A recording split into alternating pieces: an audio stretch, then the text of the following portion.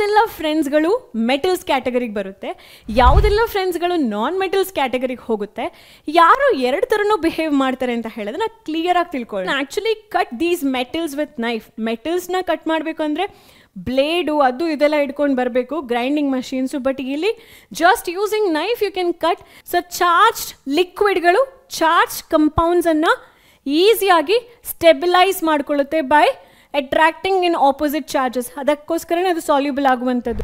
Hello students welcome you all to P W Kannada ninth and ten channel complete chapter revision on metals and non ಮೆಟಲ್ಸ್ನ ಈ ವಿಡಿಯೋದಲ್ಲಿ ನಾವು cover ಮಾಡ್ತಾ ಇದ್ದೇವೆ. So hope it is going to be useful so ನನಗೆ ಒಂದಿಷ್ಟು ಜನ friends ಇದ್ದಾರೆ. Actually ಹೇಳಬೇಕಾದ್ರೆ ನೂರ ಹದಿನೆಂಟು ಫ್ರೆಂಡ್ಸ್ ಇದ್ದಾರೆ and they very close to me so ಕೆಲವೊಂದು ಫ್ರೆಂಡ್ಸ್ನ ನಾನು ಮೆಟಲ್ಸ್ ಗ್ರೂಪಿಗೆ ಹಾಕಿಟ್ಟಿದ್ದೀನಿ. ಕೆಲವೊಂದು ಫ್ರೆಂಡ್ಸ್ನ ನಾನು ನಾನ್ ಮೆಟಲ್ಸ್ ಗ್ರೂಪಿಗೆ ಹಾಕಿದ್ದೀನಿ. ಆ್ಯಂಡ್ ಕೆಲವೊಂದಷ್ಟು ಫ್ರೆಂಡ್ಸ್ಗಳು ಎರಡೂ ಪ್ರಾಪರ್ಟೀಸ್ನ ತೋರಿಸೋದ್ರಿಂದ ಮೆಟಲಾಯ್ಡ್ಸ್ ಅಂತ ಹೇಳೋ ಗ್ರೂಪಲ್ಲಿ ಇಟ್ಟಿದ್ದೀನಿ. ಹಾಗೆಯೇ ನಾವುಗಳನ್ನೆಲ್ಲ ನಿಮಗೆ ಪರಿಚಯ ಮಾಡಿಕೊಡ್ತೀನಿ. ರೆಡಿ ಇದ್ದೀರಾ?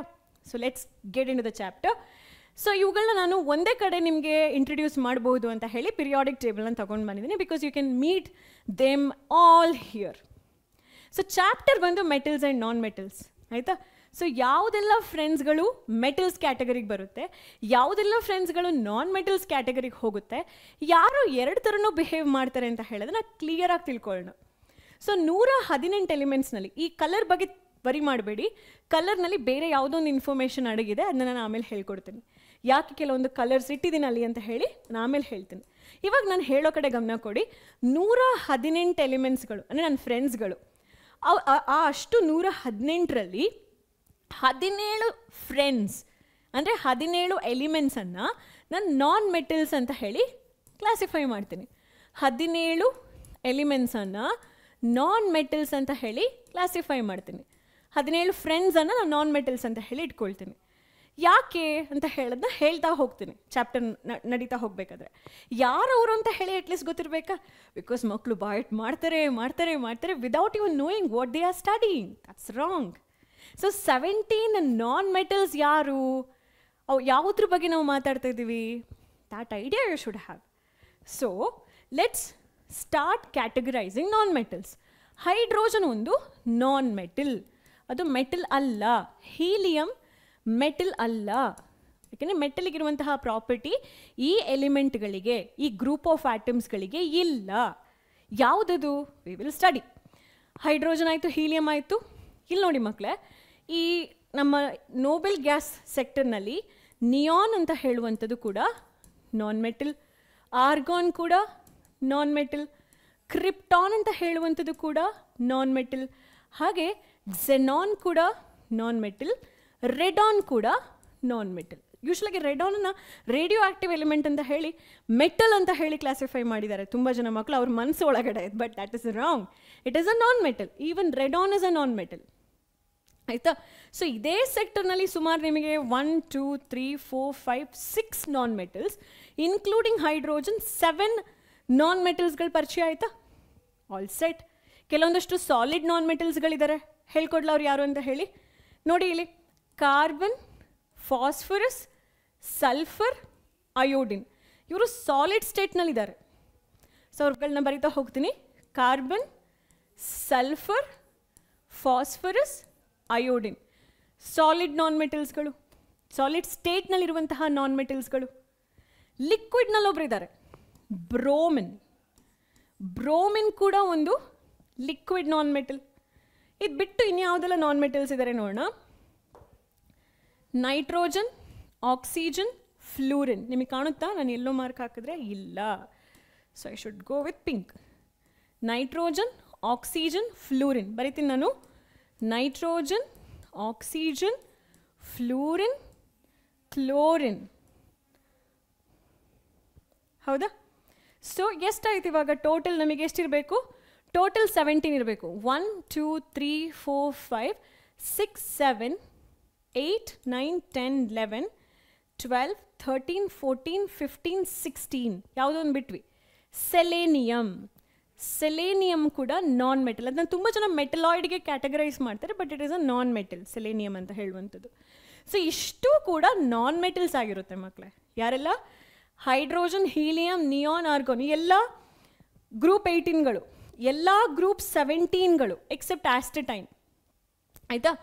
ಆಮೇಲೆ ಎಲ್ಲ ಫಸ್ಟ್ ಇದೊಂದು ಮೂರು ಗ್ರೂಪ್ ಸಿಕ್ಸ್ಟೀನ್ ಎಲಿಮೆಂಟ್ಸ್ಗಳು ಫಸ್ಟ್ ಇದು ಎರಡು ಗ್ರೂಪ್ ಫಿಫ್ಟೀನ್ ಎಲಿಮೆಂಟ್ಗಳು ಫಸ್ಟ್ ಇದು ಒಂದು ಗ್ರೂಪ್ ಫೋರ್ಟೀನ್ ಎಲಿಮೆಂಟು ಆಮೇಲೆ ಇಲ್ಲಿ ಬರುವಂತಹ ಹೈಡ್ರೋಜನ್ ಎಲಿಮೆಂಟ್. ಈ ಗ್ರೂಪನ್ನು ಹೇಳ್ತೀವಿ ಇಲ್ಲಿ. Group thirteen fourteen fifteen sixteen seventeen eighteen ನಿಮಗೆ ಸಿ ಬಿ ಎಸ್ ಸಿ ಸ್ಟೂಡೆಂಟ್ಸಿಗೆ ಚಾಪ್ಟರ್ ಡಿಲೀಟ್ ಆಗಿದೆ ಬಟ್ ಸ್ಟೇಟ್ ಬೋರ್ಡ್ ಮಕ್ಕಳಿಗೆ ಅರ್ಥ ಆಗ್ಬೋದು ಏನಿದು ಗ್ರೂಪ್ಸ್ ಅಂತ ಹೇಳಿ.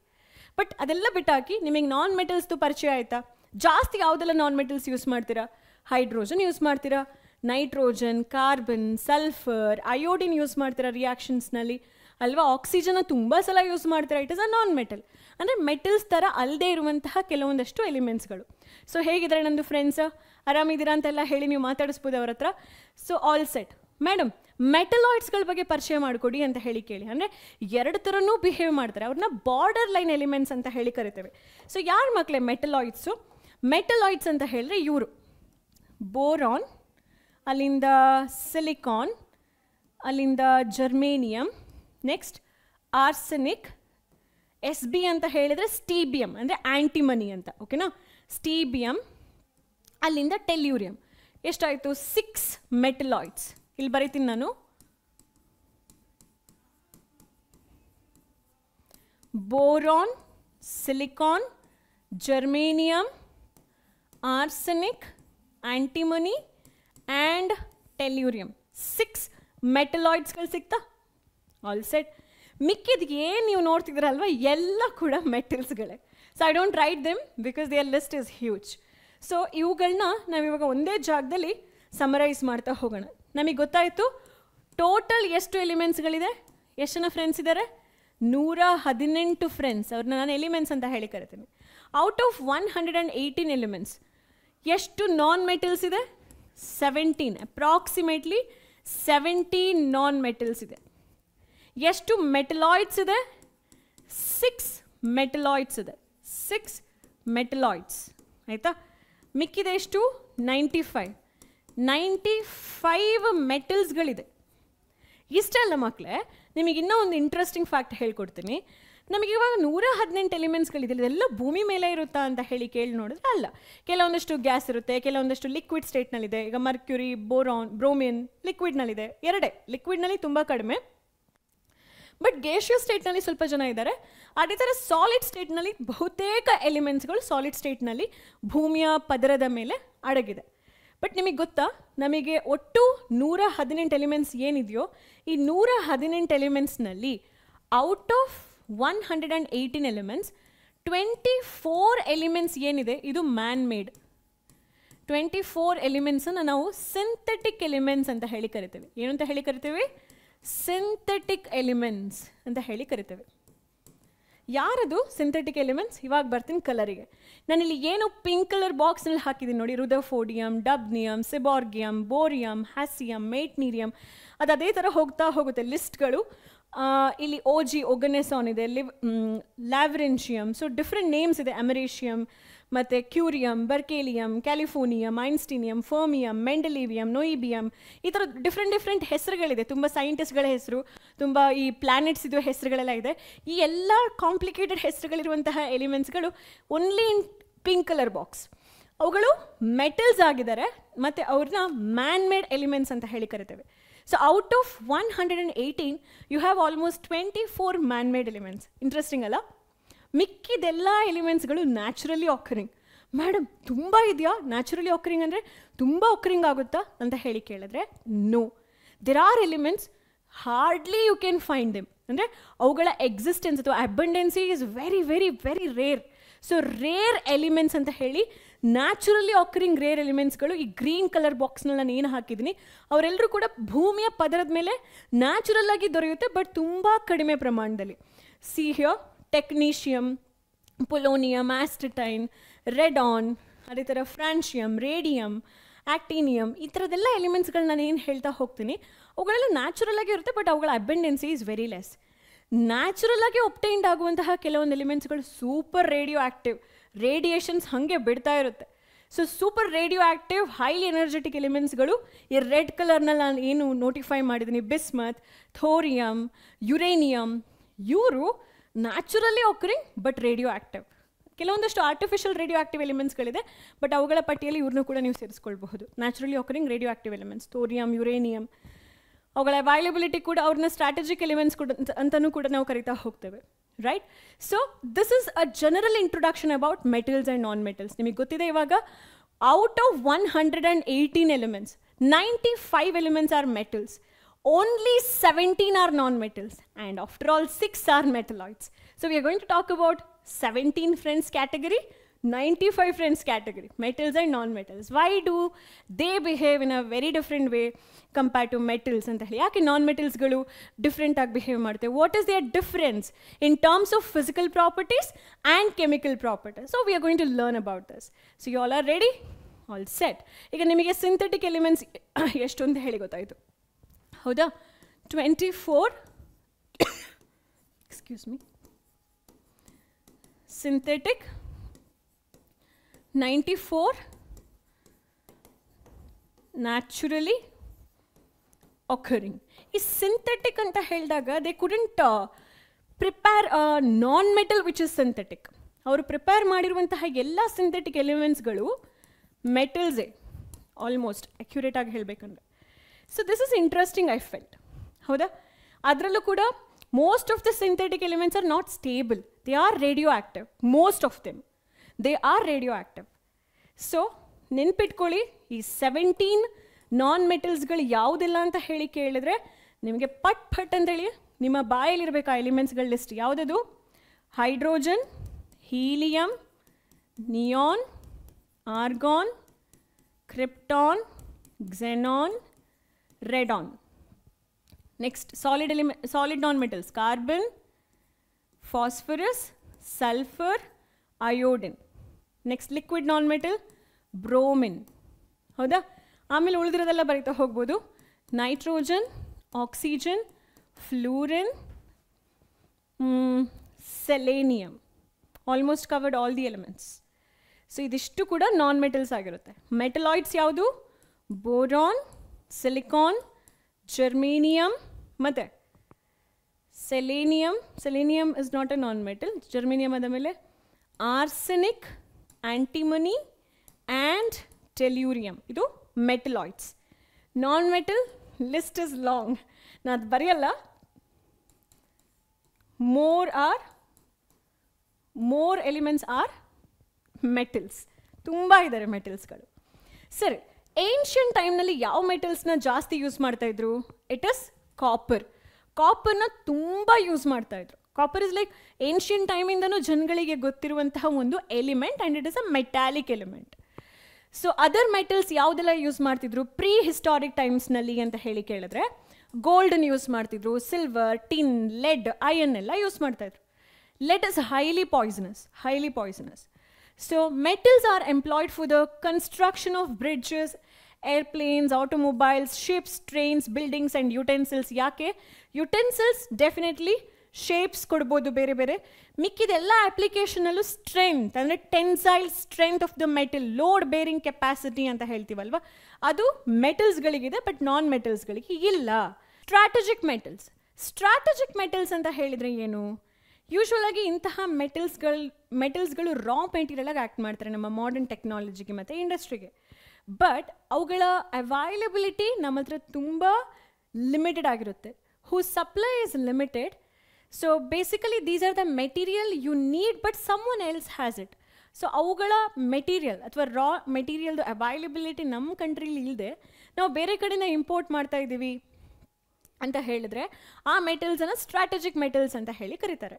ಎಕ್ಸಾಂಪಲ್ ನೋಡಿ, ಯಾಕೆ ಈ ಟೈಟಾನಿಯಂ ಕ್ರೋಮಿಯಂ ಮ್ಯಾಂಗನೀಸನ್ನು ಸ್ಟ್ರಾಟಜಿಕ್ ಮೆಟಲ್ಸ್ ಅಂತ ಹೇಳಿ ಕರೀತಾರೆ? ಜಿರ್ಕೋನಿಯಂ ಕೂಡ. So ಟೈಟಾನಿಯಮನ್ನು capital T small letter I ಇಂದ ಇಂಡಿಕೇಟ್ ಮಾಡ್ತಾರೆ. ಕ್ರೋಮಿಯಮನ್ನು capital C small letter R ಮ್ಯಾಂಗನೀಸನ್ನು capital M small letter N ಜಿರ್ಕೋನಿಯಮನ್ನು capital Z small letter R so zirconium manganese chromium ಇವುಗಳನ್ನೆಲ್ಲ ಯಾಕೆ strategic elements ಅಂತ ಹೇಳಿ ಕರಿಬೇಕು? Because we find their application in defence equipment ಯಾಕೆ? ಅಲ್ಲೂ ಕೂಡ ಯಾತಕ್ಕೋಸ್ಕರ ಅವರ ಅಪ್ಲಿಕೇಶನ್ಸ್ ನಾವು ನೋಡ್ತೀವಿ. ಅದೊಂದು light weight ಎಲಿಮೆಂಟ್ಸ್ಗಳು and they also can withstand wear and tear ಅದು ಬೇಗ ಮೆಟಲ್ಸ್ದು ಆ ಸ್ಟ್ರೆಂತ್ ಅಂತ ಹೇಳುವಂಥದ್ದು ಅಷ್ಟು ಬೇಗ ಹಾಳಾಗಲ್ಲ. ಗಟ್ಟಿ ಇರುತ್ತೆ. ಟಿ ವಿಯರ್ ಆ್ಯಂಡ್ ಟಿಯರ್ ಅಂತ ಹೇಳುವಂಥದ್ದು. ಹೌ ಏನು ಹೇಳ್ಬೋದು? ಹಾರ್ಡ್ ದೇ ಆರ್ ಹೌ ಅಂದರೆ ಅಷ್ಟು ಈಸಿಯಾಗಿ ಹಾಳಾಗಲ್ಲ ಅದು ಅಂತ ಹೇಳಿ. Are also not corroded when kept in the air for longer time ಅದಕ್ಕೋಸ್ಕರ ಇವನ್ನ ಸ್ಟ್ರಾಟಜಿಕ್ ಎಲಿಮೆಂಟ್ಸ್ ಅಂತ ಹೇಳಿ ಕರೆಯುವಂಥದ್ದು ಸ್ಟ್ರೆಂತ್ ಅಂತ ಹೇಳುವಂಥದ್ದು ಬೇಗ ಹಾಳಾಗಿ ಹೋಗಲ್ಲ ಅಂತ ಹೇಳಿ. So the metal uranium is probably the most expensive since it's it plays vital role in nuclear explosions so nuclear explosion ಅಂತ ಹೇಳುವಂಥದ್ದು ಮನುಕುಲಕ್ಕೆ ಯಾವುದೇ ಥರದ ಹೆಲ್ಪ್ ಮಾಡಲ್ಲ. But yes we do have it for the safety purpose ವಾರ್ನಲ್ಲಿ use ಮಾಡಲಿಕ್ಕೆ so similarly copper silver gold ಅವುಗಳನ್ನ coinage metals ಅಂತ ಹೇಳಿ ಕರೀತಾರೆ ಸೊ ನಿಮಗೆ ಟೂ ಮಾರ್ಕ್ಸ್ ಕ್ವೆಶನ್ಸ್ಗೆ ಇಲ್ಲಿ two different M C Q ಕ್ವೆಶನ್ಸ್ಗೆ answer ಸಿಕ್ತು what are coinage metals silver copper gold are called as coinage metals because we do use them in making coins and jewelries as well. So, why do we call certain metal as strategic? They are crucial in modern technology and industry, but their availability is very less and somebody else has it. Their supply always have huge demand. ಅಂತಹ ಮೆಟಲ್ಸನ್ನು strategic metals ಅಂತ ಹೇಳಿ ಕರಿತೀವಿ list few strategic metals ಅಂತ ಹೇಳಿದ್ರೆ titanium chromium manganese and zirconium ಅಂತ ಹೇಳ್ಬೋದು this is like extra information but they have asked most of the time this questions in higher order sector higher order thinking ಸ್ಕಿಲ್ನಲ್ಲಿ ಇಂಥ ಕ್ವೆಶನ್ಸ್ನ ಕೇಳಿದ್ದಾರೆ state ಬೋರ್ಡ್ನಲ್ಲಿ strategic metals ಬಗ್ಗೆ ಕೇಳಿಲ್ಲ ಇಲ್ಲಿವರೆಗೂ ಕೂಡ but just for your knowledge you can have this okay next properties ಬಂದಾಗ, ಒಂದೇ ಕಡೆ ನಾವು ಸಮರೈಸ್ ಮಾಡ್ತಾ ಹೋಗೋಣ. Hope this is visible yes so ಮೆಟಲ್ಸಿಗೂ non ಮೆಟಲ್ಸಿಗೂ ಫಿಸಿಕಲ್ ಪ್ರಾಪರ್ಟಿ ಲಸ್ಟರ್ ಅಂತ ಹೇಳಿ ಬಂದಾಗ, ಅವುಗಳ ಸರ್ಫೇಸ್ದು ಶೈನಿನೆಸ್ಸನ್ನು ಲಸ್ಟರ್ ಅಂತ ಹೇಳ್ತೀವಲ್ವಾ? ಸೊ ಮೆಟಲ್ಸ್ನಲ್ಲಿ ಯಾವಾಗಲೂ ಕೂಡ ಒಂದು ಶೈನಿಂಗ್ ಸರ್ಫೇಸ್ ಇರುತ್ತೆ. Unless that metal is expose to the oxygen ಅಂದರೆ ಏರ್ ಫಾರ್ ಟೂ ಲಾಂಗರ್ ಅವುಗಳಿಗೆ ಯಾವಾಗಲೂ ಆ ಶೈನಿನೆಸ್ ಇರುತ್ತೆ. But when they expose to oxygen for too a period ಅವುಗಳ ಮೇಲೆ ಆಕ್ಸೈಡ್ ಲೇಯರ್ ಫಾರ್ಮ್ ಆಗುತ್ತೆ and that gives dullness to the metal ಹಾಗಾಗಿ ಕೆಲವೊಂದ್ಸಲ ಮೆಟಲ್ಸ್ನ ಸ್ಯಾಂಡ್ ಪೇಪರಿಂದ ಕ್ಲೀನ್ ಮಾಡ್ತಾ ಹೋಗ್ತೀವಿ. But apart from that metals are always shiny in nature ತುಂಬ ಮೆಟಲ್ಸ್ಗಳಿಗೆ ಯಾವ ಕಲರ್ ಇದೆ ಅಂತ ಹೇಳಿ ಕೇಳಿದ್ರೆ ಗೋಲ್ಡಿಗೆ ನಿಮಗೆ ಗೊತ್ತಿದೆ ಗೋಲ್ಡನ್ ಯೆಲ್ಲೋ ಕಲರ್ ಇದೆ. ಕಾಪರಿಗೆ ಬ್ರೌನ್ ಕಲರ್ ಇದೆ. ಗೋಲ್ಡನ್ ಬ್ರೌನ್ ಕಲರ್ ಇದೆ. ಹೌದಾ? ಮತ್ತು ಸಿಲ್ವರಿಗೆ ಸಿಲ್ವರ್ ಕಲರ್ ಇದೆ. ಮಿಕ್ಕಿದೆಲ್ಲ ಮೆಟಲ್ಸ್ಗೂ greyish silverish colour greyish silver colour ಇದೆ. ಸೊ ನಾನ್ ಮೆಟಲ್ಸ್ಗಳಿಗೆ ಯಾವುದೇ ಥರದ ಶೈನಿಂಗ್ ಇಲ್ಲ except iodine iodine is a crystal ಈ ಉಪ್ಪಿನ ಥರ ಹೊಳಿತಾ ಇರುತ್ತೆ but that has a brown colour in it ಅಯೋಡಿನಿಗೆ ಮಾತ್ರ ಒಂದು ಸರ್ಫೇಸ್ನಲ್ಲಿ ಆ ಒಂದು ಶೈನಿನೆಸ್ ಇದೆ and it is brown in colour dark brown in colour so ಹಾಕಿದ ತಕ್ಷಣ ನಿಮಗೆ ತುಂಬ ಡಾರ್ಕ್ ಬ್ರೌನ್ ಸಿರಪ್ ಥರ ಫಾರ್ಮ್ ಆಗುತ್ತೆ ಅದು ಮತ್ತು ಸ್ಲೋಲಿ ಸ್ಲೋಲಿ ಯೆಲ್ಲೋಯಿಶ್ ಆಗ್ತಾ ಹೋಗುತ್ತೆ ಅದು ಓಕೆ ಹಾರ್ಡ್ನೆಸ್ ಬಂದಾಗ you know that metals are generally hard because metals ಒಳಗಡೆ atoms are very tightly packed ಒಂದಕ್ಕೊಂದು ತುಂಬ ಹತ್ರ ಹತ್ರ ಹತ್ರ ಮೆಟಲಿ ಏನು ಹೇಳ್ಬೋದು? ಆಟಮ್ಸ್ಗಳು ಜೋಡಣೆ ಆಗಿದೆ ಅಥವಾ ಅರೇಂಜ್ಡ್ ಆಗಿದೆ ಅಂತ ಹೇಳಿ ರೈಟ್ ಸೊ ಆದರೆ ಕೆಲವೊಂದು ಮೆಟಲ್ಸ್ನಲ್ಲಿ ಈ ಹಾರ್ಡ್ನೆಸ್ ಕಂಡು ಬರಲ್ಲ. ಯಾವುದದು? ಯಾವುದೆಲ್ಲ ಅಂತ ಹೇಳಿದ್ರೆ ಸಾಫ್ಟ್ ಆಗಿರುವಂತಹ ಮೆಟಲ್ಸ್ಗಳು ಸೋಡಿಯಂ ಲೀಥಿಯಂ ಪೊಟ್ಯಾಷಿಯಂ ಅಂತ ಹೇಳುವಂಥದ್ದು they are very soft and you can actually cut these metals with knife ಮೆಟಲ್ಸ್ನ cut ಮಾಡಬೇಕು ಅಂದರೆ ಬ್ಲೇಡು ಅದು ಇದೆಲ್ಲ ಇಟ್ಕೊಂಡು ಬರಬೇಕು ಗ್ರೈಂಡಿಂಗ್ ಮಷೀನ್ಸು ಬಟ್ ಇಲ್ಲಿ just using knife you can cut ಹೇಗೆ ನೀವು ಬ್ರೆಡನ್ನು ಕಟ್ ಮಾಡ್ತೀರಲ್ಲ, ಹಾಗೆ ನೀವು ಸೋಡಿಯಂನ ಕಟ್ ಮಾಡ್ಬೋದು ಲಿಥಿಯಮ್ನ ಕಟ್ ಮಾಡ್ಬೋದು ಪೊಟ್ಯಾಷಿಯಮ್ನು ಕೂಡ ಕಟ್ ಮಾಡಬಹುದು. Okay these are extremely soft so ಇಲ್ಲಿ ನಾನ್ ಮೆಟಲ್ಸ್ ಅಂತ ಹೇಳಿ ಬಂದಾಗ they are not hard usually ಅವ್ರು ಹಾರ್ಡ್ ಅಲ್ಲ except carbon in diamond form which is known to be the hardest substance present on earth so generally ಅವುಗಳು ಸಾಫ್ಟಾಗೇ ಇರುತ್ತೆ. ನೀವು ಯಾವುದೇ ನಾನ್ ಮೆಟಲ್ಸ್ ತಗೊಂಡ್ರು except diamond naturally naturally existing ಆಗಿರುವಂತಹ hardest substance ಅಂತ ಹೇಳ್ಬೋದು. ಓಕೆ ನೆಕ್ಸ್ಟ್ ಸ್ಟೇಟ್ ಅಂತ ಹೇಳಿ ಬಂದಾಗ, ಯಾವ ಸ್ಟೇಟ್ನಲ್ಲಿ ಮೆಟಲ್ಸ್ಗಳಿರುತ್ತೆ ಯೂಶ್ವಲ್ ಆಗಿ ಎಲ್ಲ ಮೆಟಲ್ಸ್ಗಳು except mercury are present in solid state so mercury ಮಾತ್ರ ಮರ್ಕ್ಯುರಿಯನ್ನು ಹೈಡ್ರಾರ್ ಜಿರಮ್ ಅಂತ ಹೇಳಿ ಕರಿತೀವಲ್ವಾ? So mercury is present in liquid state but ಇಲ್ಲಿ ಎಲ್ಲ ಸ್ಟೇಟ್ನಲ್ಲೂ ಕೂಡ ನೀವು ನಾನ್ ಮೆಟಲ್ಸ್ನ ನೋಡ್ತೀರಾ? ಕಾರ್ಬನ್ ನೋಡಿ ಸಾಲಿಡ್ ಅಂತ ಹೇಳಿದಾಗ ಕಾರ್ಬನ್ ಫಾಸ್ಫರಸ್ ಸಲ್ಫರ್ ಅಯೋಡಿನ್ ಈ ನಾನ್ ಮೆಟಲ್ಸ್ಗಳು ಸಾಲಿಡ್ ಸ್ಟೇಟ್ನಲ್ಲಿದೆ ಅದೇ ಥರ hydrogen nitrogen oxygen fluorine chlorine gaseous ಸ್ಟೇಟ್ನಲ್ಲಿದೆ ಅದೇ ಥರ ನೀವು ಬ್ರೋಮಿನಿಗೆ ಹೋದರೆ ಬ್ರೋಮಿನ್ ಬಂದು liquid ಸ್ಟೇಟ್ನಲ್ಲಿದೆ so you can find all the three states in these elements three physical states in these elements ಅರ್ಥ ಆಯ್ತಾ? ನೆಕ್ಸ್ಟ್ ಮ್ಯಾಲಿಯಬಿಲಿಟಿ ಬಗ್ಗೆ ಮಾತಾಡೋಣ. What is malleability a property where metal can be beaten in to thin sheet ನೀವೊಂದು show shorts ಕೂಡ ನಾನು ಮಾಡಿದ್ರೆ ನನ್ನ ಕೂಡ ನೀವು ಅಬ್ಸರ್ವ್ ಮಾಡ್ಬೋದು. ಸೊ ಮೆಟಲ್ಸ್ನ ಜಜ್ಜಿ ಹ್ಯಾಮರಿಂಗ್ ಮಾಡಿ you can actually convert metals into thin sheet ಎಷ್ಟೋ ಅಪ್ಲಿಕೇಶನ್ಸ್ ಇದೆ ಬಿಕಾಸ್ ಆಫ್ ಮ್ಯಾಲಿಯಬಿಲಿಟಿ ನಮ್ಮ ಯುಟೆನ್ಸಿಲ್ಸ್ ಆಗಿರ್ಬೋದು, ಮನೆದು ರೂಫಿಂಗ್ ಆಗಿರ್ಬೋದು ಡಿಫ್ರೆಂಟ್ ಡಿಫ್ರೆಂಟ್ ಮಷಿನ್ಸ್ಗಳದ್ದು ಪ್ರಿಪ್ರೇಷನ್ಸ್ ಆಗಿರಬಹುದು. It all comes in malleability property ಅಲ್ವಾ? ಬಟ್ ಯಾವುದೇ non metals you can take carbon phosphorus sulphur ಅಥವಾ ಈ ಗೇಷಿಯಸ್ ಆಗಿರ್ಬೋದು ಲಿಕ್ವಿಡ್ ಬ್ರೋಮಿನ್ ಆಗಿರ್ಬೋದು, ನಿಮಗೆ ಶೀಟ್ ಥರ ಕನ್ವರ್ಟ್ ಮಾಡೋಕ್ಕೆ ಸಾಧ್ಯನೇ ಇಲ್ಲ. So non metals are non malleable but metals are malleable ಬ್ಯಾಟ್ರಿದು metal that is actually having a sheet finest example I can give ನಿಮ್ಮ ಟಿನ್ ಬಾಕ್ಸ್ ಆಗಿರ್ಬೋದು ಟಿನ್ದು ಪಾತ್ರೆಗಳೆಲ್ಲ ಇರುತ್ತಲ್ಲ ನಿಮ್ಮ ಮನೆಯಲ್ಲಿ that actually has a round shape but ಅದನ್ನ cut ಮಾಡಿದ್ರೆ it is a plate ಆಗಿರುತ್ತೆ. ಹೌದಾ? So metals are malleable a property where it can be hammered ಅಥವಾ beaten in to thin sheets ಅಂತ ಹೇಳ್ಬೋದು. Next ductility what you mean by ductility a property of a metal where you can draw metal in to thin wires so metals can be drawn into thin wires. You can call this property as ductility. ಈ ಪ್ರಾಪರ್ಟಿಯನ್ನು you can't even imagine with carbon sulphur phosphorus ಅವುಗಳು brittle in nature ಹುಡಿ ಹುಡಿ ಆಗೋಗುತ್ತೆ the moment you beat them you can't even you know apply lot of force because ಅವುಗಳಲ್ಲಿ atoms are not as closely packed as metals. In non-metals, atoms are packed in such a way that they don't have much force. ಹಾಗಾಗಿ they they will become they are ಏನು ಹೇಳ್ಬೋದು ಈಸಿಯಾಗಿ break ಆಗ್ತಾ ಹೋಗುತ್ತೆ. Brittle in nature ಅಂತ ಹೇಳ್ಬೋದು. So ductility malleability is a sole property of metals because ಅಲ್ಲಿ ಎಕ್ಸೆಪ್ಷನಿಗೂ ಕೂಡ ಒಂದು ಎಕ್ಸಾಂಪಲ್ ನಿಮಗೆ ಸಿಗಲ್ಲ. ರೈಟ್ ನೆಕ್ಸ್ಟ್ ನೋಡೋಣ. Conductor of heat and electricity metals are very good conductors of heat and electricity ನಿಮಗೆ ಗೊತ್ತಿದೆ ಅದು. ನಾನ್ ಮೆಟಲ್ಸ್ನಲ್ಲಿ ಇಲ್ಲ. ಯಾವುದು ಕೂಡ ಕಂಡಕ್ಟಿಂಗ್ ಹೀಟ್ ಅಂತ ಹೇಳಿ ಬರಲ್ಲ. ಬಟ್ ಎಲೆಕ್ಟ್ರಿಸಿಟಿ ಬಂದಾಗ graphite conducts electricity in non metal ಗ್ರಾಫೈಟ್ನಲ್ಲಿ carbon is a non metal which conducts electricity in the form of graphite allotrope but ಇಲ್ಲಿ ನಿಮಗೆ ಗೊತ್ತಿರಲೇಬೇಕು P B and mercury what is it P B and mercury I'll write once again. PB lead and mercury are poor conductors. Poor conductors.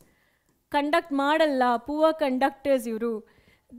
Good conductors ಯಾರು ಅಂತ ಹೇಳಿ ಕೇಳಿದ್ರೆ it is silver so silver and copper are good conductors and mercury and P B are poor conductors ಅದೇ ಥರ ductility property ಬಂದಾಗ which metal is very very good at showing ductility property it is gold ಗೋಲ್ಡನ್ನು ನಾವು ಹೇಗೆ represent ಮಾಡ್ತೀವಿ? A you ಆರಮ್ ಅಂತ ಹೇಳಿ represent ಮಾಡ್ತೀವಿ. Malleability ಬಂದಾಗ again it is copper gold silver copper silver gold aluminium ಇದೆಲ್ಲ ಕೂಡ ಮ್ಯಾಲಿಯಬಿಲಿಟಿ ಪ್ರಾಪರ್ಟಿನ ತುಂಬ ಚೆನ್ನಾಗಿ ತೋರಿಸುತ್ತೆ right so then comes density metals are highly dense except metals are highly dense except those soft metals sodium potassium and lithium ಆಯಿತಾ? Non ಮೆಟಲ್ಸ್ಗೆ density ಕಡಿಮೆ because ಅಲ್ಲಿ ಆ್ಯಟಮ್ಸ್ಗಳು ತುಂಬ ಹತ್ರ ಹತ್ರ ಜೋಡಣೆ ಆಗಿರಲ್ಲ, ತುಂಬ ದೂರ ದೂರ ಇರುತ್ತೆ. ಸೊ ಇನ್ ಮೆಟಲ್ಸ್ ಈಗ ಆಟಮ್ಸ್ಗಳು ಹತ್ರ ಹತ್ರ ಈ ಥರ ಪ್ರತಿ ಆಟಮ್ಸ್ಗಳು ತುಂಬ ಹತ್ರ ಹತ್ರ ಅರೇಂಜ್ಡ್ ಆಗಿದ್ದು ಮೆಟಾಲಿಕ್ ಬಾಂಡಿಂಗ್ ತುಂಬ ಸ್ಟ್ರಾಂಗ್ ಇದ್ದರೆ ನಾನ್ ಮೆಟಲ್ಸ್ನಲ್ಲಿ ಇಲ್ಲಿರುತ್ತೆ ಇಲ್ಲಿರುತ್ತೆ. And they are quite not like gaseous state but ಅವುಗಳಲ್ಲಿ ಆಟಮ್ಸ್ಗಳು ಹತ್ತಿರ ಇರುತ್ತೆ ಬಟ್ ತುಂಬ ಕ್ಲೋಸ್ ಆಗಿ ಪಾಕ್ ಆಗಿರಲ್ಲ, ತುಂಬ ವಾಯ್ಡ್ ಇರುತ್ತೆ, ಅಂದರೆ ಸ್ಪೇಸ್ ಇರುತ್ತೆ ಆಟಮ್ಸ್ಗಳ ನಡುವೆ ಅಂತ ಹೇಳಿ. Next sonorous a property where we can actually produce a ringing sound when we strike them with a hard subject a hard object so ಇಲ್ಲಿ ಮೆಟಲ್ಸ್ಗಳಿಗೆ ಒಂದು ಒಂದು ಹಾರ್ಡ್ ಸರ್ಫೇಸ್ ಸ್ಟ್ರೈಕ್ ಮಾಡಿದಾಗ, ಒಂದು ಹಾರ್ಡ್ ಆಬ್ಜೆಕ್ಟಿಂದ ಸ್ಟ್ರೈಕ್ ಮಾಡಿದಾಗ ಸರ್ಫೇಸ್ ಮೇಲೆ it produces ringing sound and that ringing sound is called as that property is called as sonorous non ಮೆಟಲ್ಸ್ಗಳು ಅಂಥದ್ದೇನು ಮಾಡಲ್ಲ. ಮತ್ತು melting point and boiling point M P R B P mental pressure and body pressure ಅಂತ ಹೇಳಿ ಅಲ್ಲ ಇದು. Okay it's melting point and boiling point metals do have high melting point and boiling point high M P R B P exception ತುಂಬ ಇದೆ ಕೆಲವೊಂದಷ್ಟು exception ನಾನು ಯಾವ್ದು ಕೊಡ್ಬೋದು ಅಂತ ಹೇಳಿದರೆ ಗ್ಯಾಲಿಯಮ್ ಆ್ಯಂಡ್ ಸೀಸಿಯಮ್ ಇವುಗಳ ಮೆಲ್ಟಿಂಗ್ ಪಾಯಿಂಟ್ ಬಂದು thirty degree Celsius and twenty nine degree Celsius ಅರೌಂಡಲ್ಲಿದೆ the moment you keep them on your palm they start melting so at the room temperature they tend to show are they tend to exist in liquid state ಅಂತ ಹೇಳಿ both the state there available before this temperature ಈಗ twenty four degree Celsius twenty degree ಸೆಲ್ಸಿಯಸ್ನಲ್ಲಿ ಅವುಗಳು solid ಸ್ಟೇಟ್ನಲ್ಲಿರುತ್ತೆ Jammu ಕಾಶ್ಮೀರ್ನಲ್ಲಿ caesium gallium ಸಾಲಿಡ್ನಲ್ಲಿದ್ದರೆ ಅವುಗಳನ್ನ ಸೀದಾ ತಗೊಂಡು ಬಂದು ನೀವು ಕರ್ನಾಟಕದ್ದು ಗುಲ್ ಗುಲ್ಬರ್ಗ ಅಥವಾ ರಾಯಚೂರಿನಲ್ಲಿ ಬಿಟ್ಬಿಟ್ರೆ ಬೇಸಿಗೆ ಕಾಲದಲ್ಲಿ ಅದು ಲಿಕ್ವಿಡ್ ಫಾರ್ಮ್ನಲ್ಲಿ ಇರುತ್ತೆ ಅಂತ ಹೇಳಿ because in that time the temperature goes to forty degree Celsius ಅಲ್ವಾ ನಾರ್ತ್ ಕರ್ನಾಟಕ ರೀಜ್ನಲ್ಲಿ ಬಿಯಾಂಡ್ ಫೋರ್ಟಿ ಅಂದ್ಕೊಳ್ತೇನೆ ಸೊ ಮೆಟಲ್ದು ಆಕ್ಸೈಡ್ಗೆ ಯಾವ ನೇಚರ್ ಇರುತ್ತೆ? ಬೇಸಿಕ್ ನೇಚರ್ ಇರುತ್ತೆ. So metallic metal oxides are basic in nature but non metal oxides like carbon dioxides ಅದು acidic in nature because the moment you put them in water it produce acid metallic oxide example calcium oxide the moment you produce put it in water, it produces calcium hydroxide. Calcium hydroxide is base.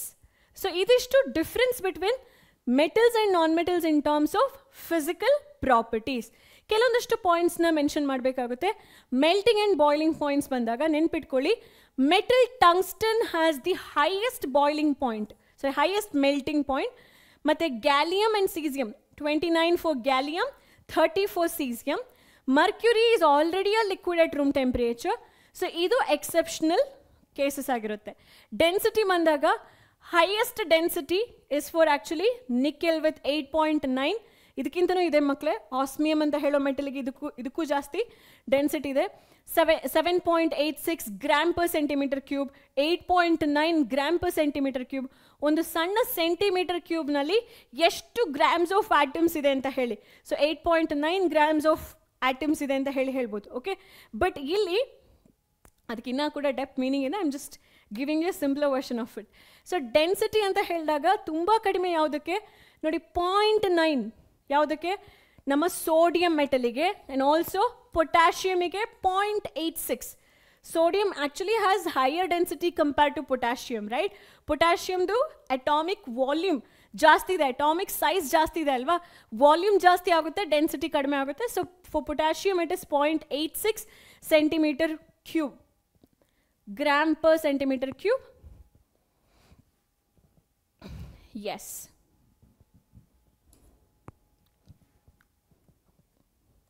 Next electrical conductivity ನಾನು ಹೇಳಿದ್ದೀನಿ already metals do conduct electricity ಅಂತ ಹೇಳಿ.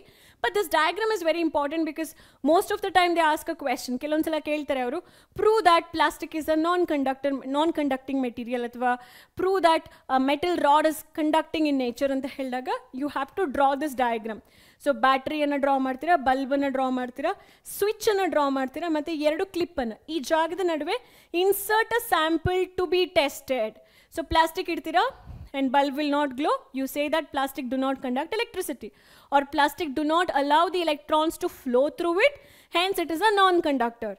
So, next ನೀವು ಈ ಒಂದು ಸ್ಪೇಸ್ನಲ್ಲಿ you keep a metal and metal will allow the electrons to flow through it and you say you conclude that metal is a conductor of electricity so this diagram is very very very important okay next is how do you test that ಅವ್ರು ಹೇಳ್ತಾರೆ how do you test that metal conduct heat conducting ಹೀಟ್ಗೆ ಇಲ್ಲಿ ಒಂದು ಎಂಡಿಗೆ ನೀವು ಏನು ಮಾಡ್ತೀರಾ? ವ್ಯಾಕ್ಸನ್ನು stick ಮಾಡ್ತೀರಾ? And the other end you start heating the metal heat ಏನಾಗುತ್ತೆ? ಒಂದು ಆ್ಯಟಮಿಂದ ಇನ್ನೊಂದು ಆಟಮ್ಗೆ ಟ್ರಾನ್ಸ್ಫರ್ ಆಗ್ತಾ ಹೋಗುತ್ತೆ in terms of vibratory motion so ಒಂದ್ಸಲ ಹೀಟ್ ಎನರ್ಜಿ ಕೊಟ್ಟಾಗ ಮೆಟಲ್ಸ್ಗಳು start vibrating and the produce a motion ಆ ಮೋಷನಿಂದಾಗಿ heat will transfer further further further further heat transfer ಆಗಿ ವ್ಯಾಕ್ಸ್ನ ಎಲ್ಲಿ ಸ್ಟಿಕ್ ಮಾಡಿರ್ತೀರ? ಆ ಎಂಡ್ನಲ್ಲಿ wax will start melting and that is when you say that heat is conducting so ಆ ವ್ಯಾಕ್ಸಿಗೆ ನೀವು ಒಂದು ಪಿನ್ ಕೂಡ ಅಟ್ಯಾಚ್ ಮಾಡಿರ್ತೀರ? ಆ ವ್ಯಾಕ್ಸ್ ಮೆಲ್ಟ್ ಆಗಬೇಕಾದ್ರೆ ಪಿನ್ ಕೆಳಗಡೆ ಬೀಳುತ್ತೆ. So as metals do conduct heat ಅಂತ ಹೇಳೋದಕ್ಕೆ ಈ ಒಂದು ಎಕ್ಸ್ಪೆರಿಮೆಂಟ್ ಇಸ್ ಇಂಪಾರ್ಟೆಂಟ್ ಸೊ ನಾವು let's get into the chemical properties of metals ನಾವು ಇಲ್ಲಿವರೆಗೂ ಏನು ಕಲ್ತ್ವಿ? So till this point we learned about physical property let's get into chemical property ready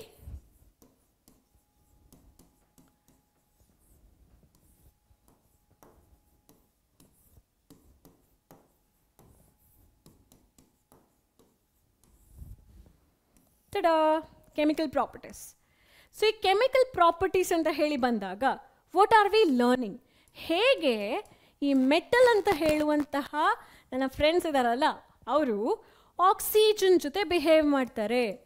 ಹೇಗೆ ಈ ಮೆಟಲ್ಸ್ಗಳು ವಾಟರ್ ಜೊತೆ ಬಿಹೇವ್ ಮಾಡುತ್ತೆ? ಹೇಗೆ ಈ ಮೆಟಲ್ಸ್ಗಳು ಆ್ಯಸಿಡ್ ಜೊತೆ ಬಿಹೇವ್ ಮಾಡುತ್ತೆ? ಅದೇ ಥರ ಹೇಗೆ ಈ ಮೆಟಲ್ಸ್ಗಳು ಬೇರೆ ಮೆಟಲ್ ಸಾಲ್ಟ್ ಸೊಲ್ಯೂಷನ್ ಜೊತೆ ಬಿಹೇವ್ ಮಾಡುತ್ತೆ? ಇದನ್ನು ನಾವು ಕೆಮಿಕಲ್ ಪ್ರಾಪರ್ಟಿ ಆಫ್ ಮೆಟಲ್ ಅಂತ ಹೇಳಿ ಕರಿತೀವಿ. ಕೆಮಿಕಲಿ ಅವುಗಳ ಬಿಹೇವಿಯರ್ ಬಗ್ಗೆ ನಾವು ಸ್ಟಡಿ ಮಾಡ್ತಾ ಹೋಗ್ತೀವಿ. Metal salt solution.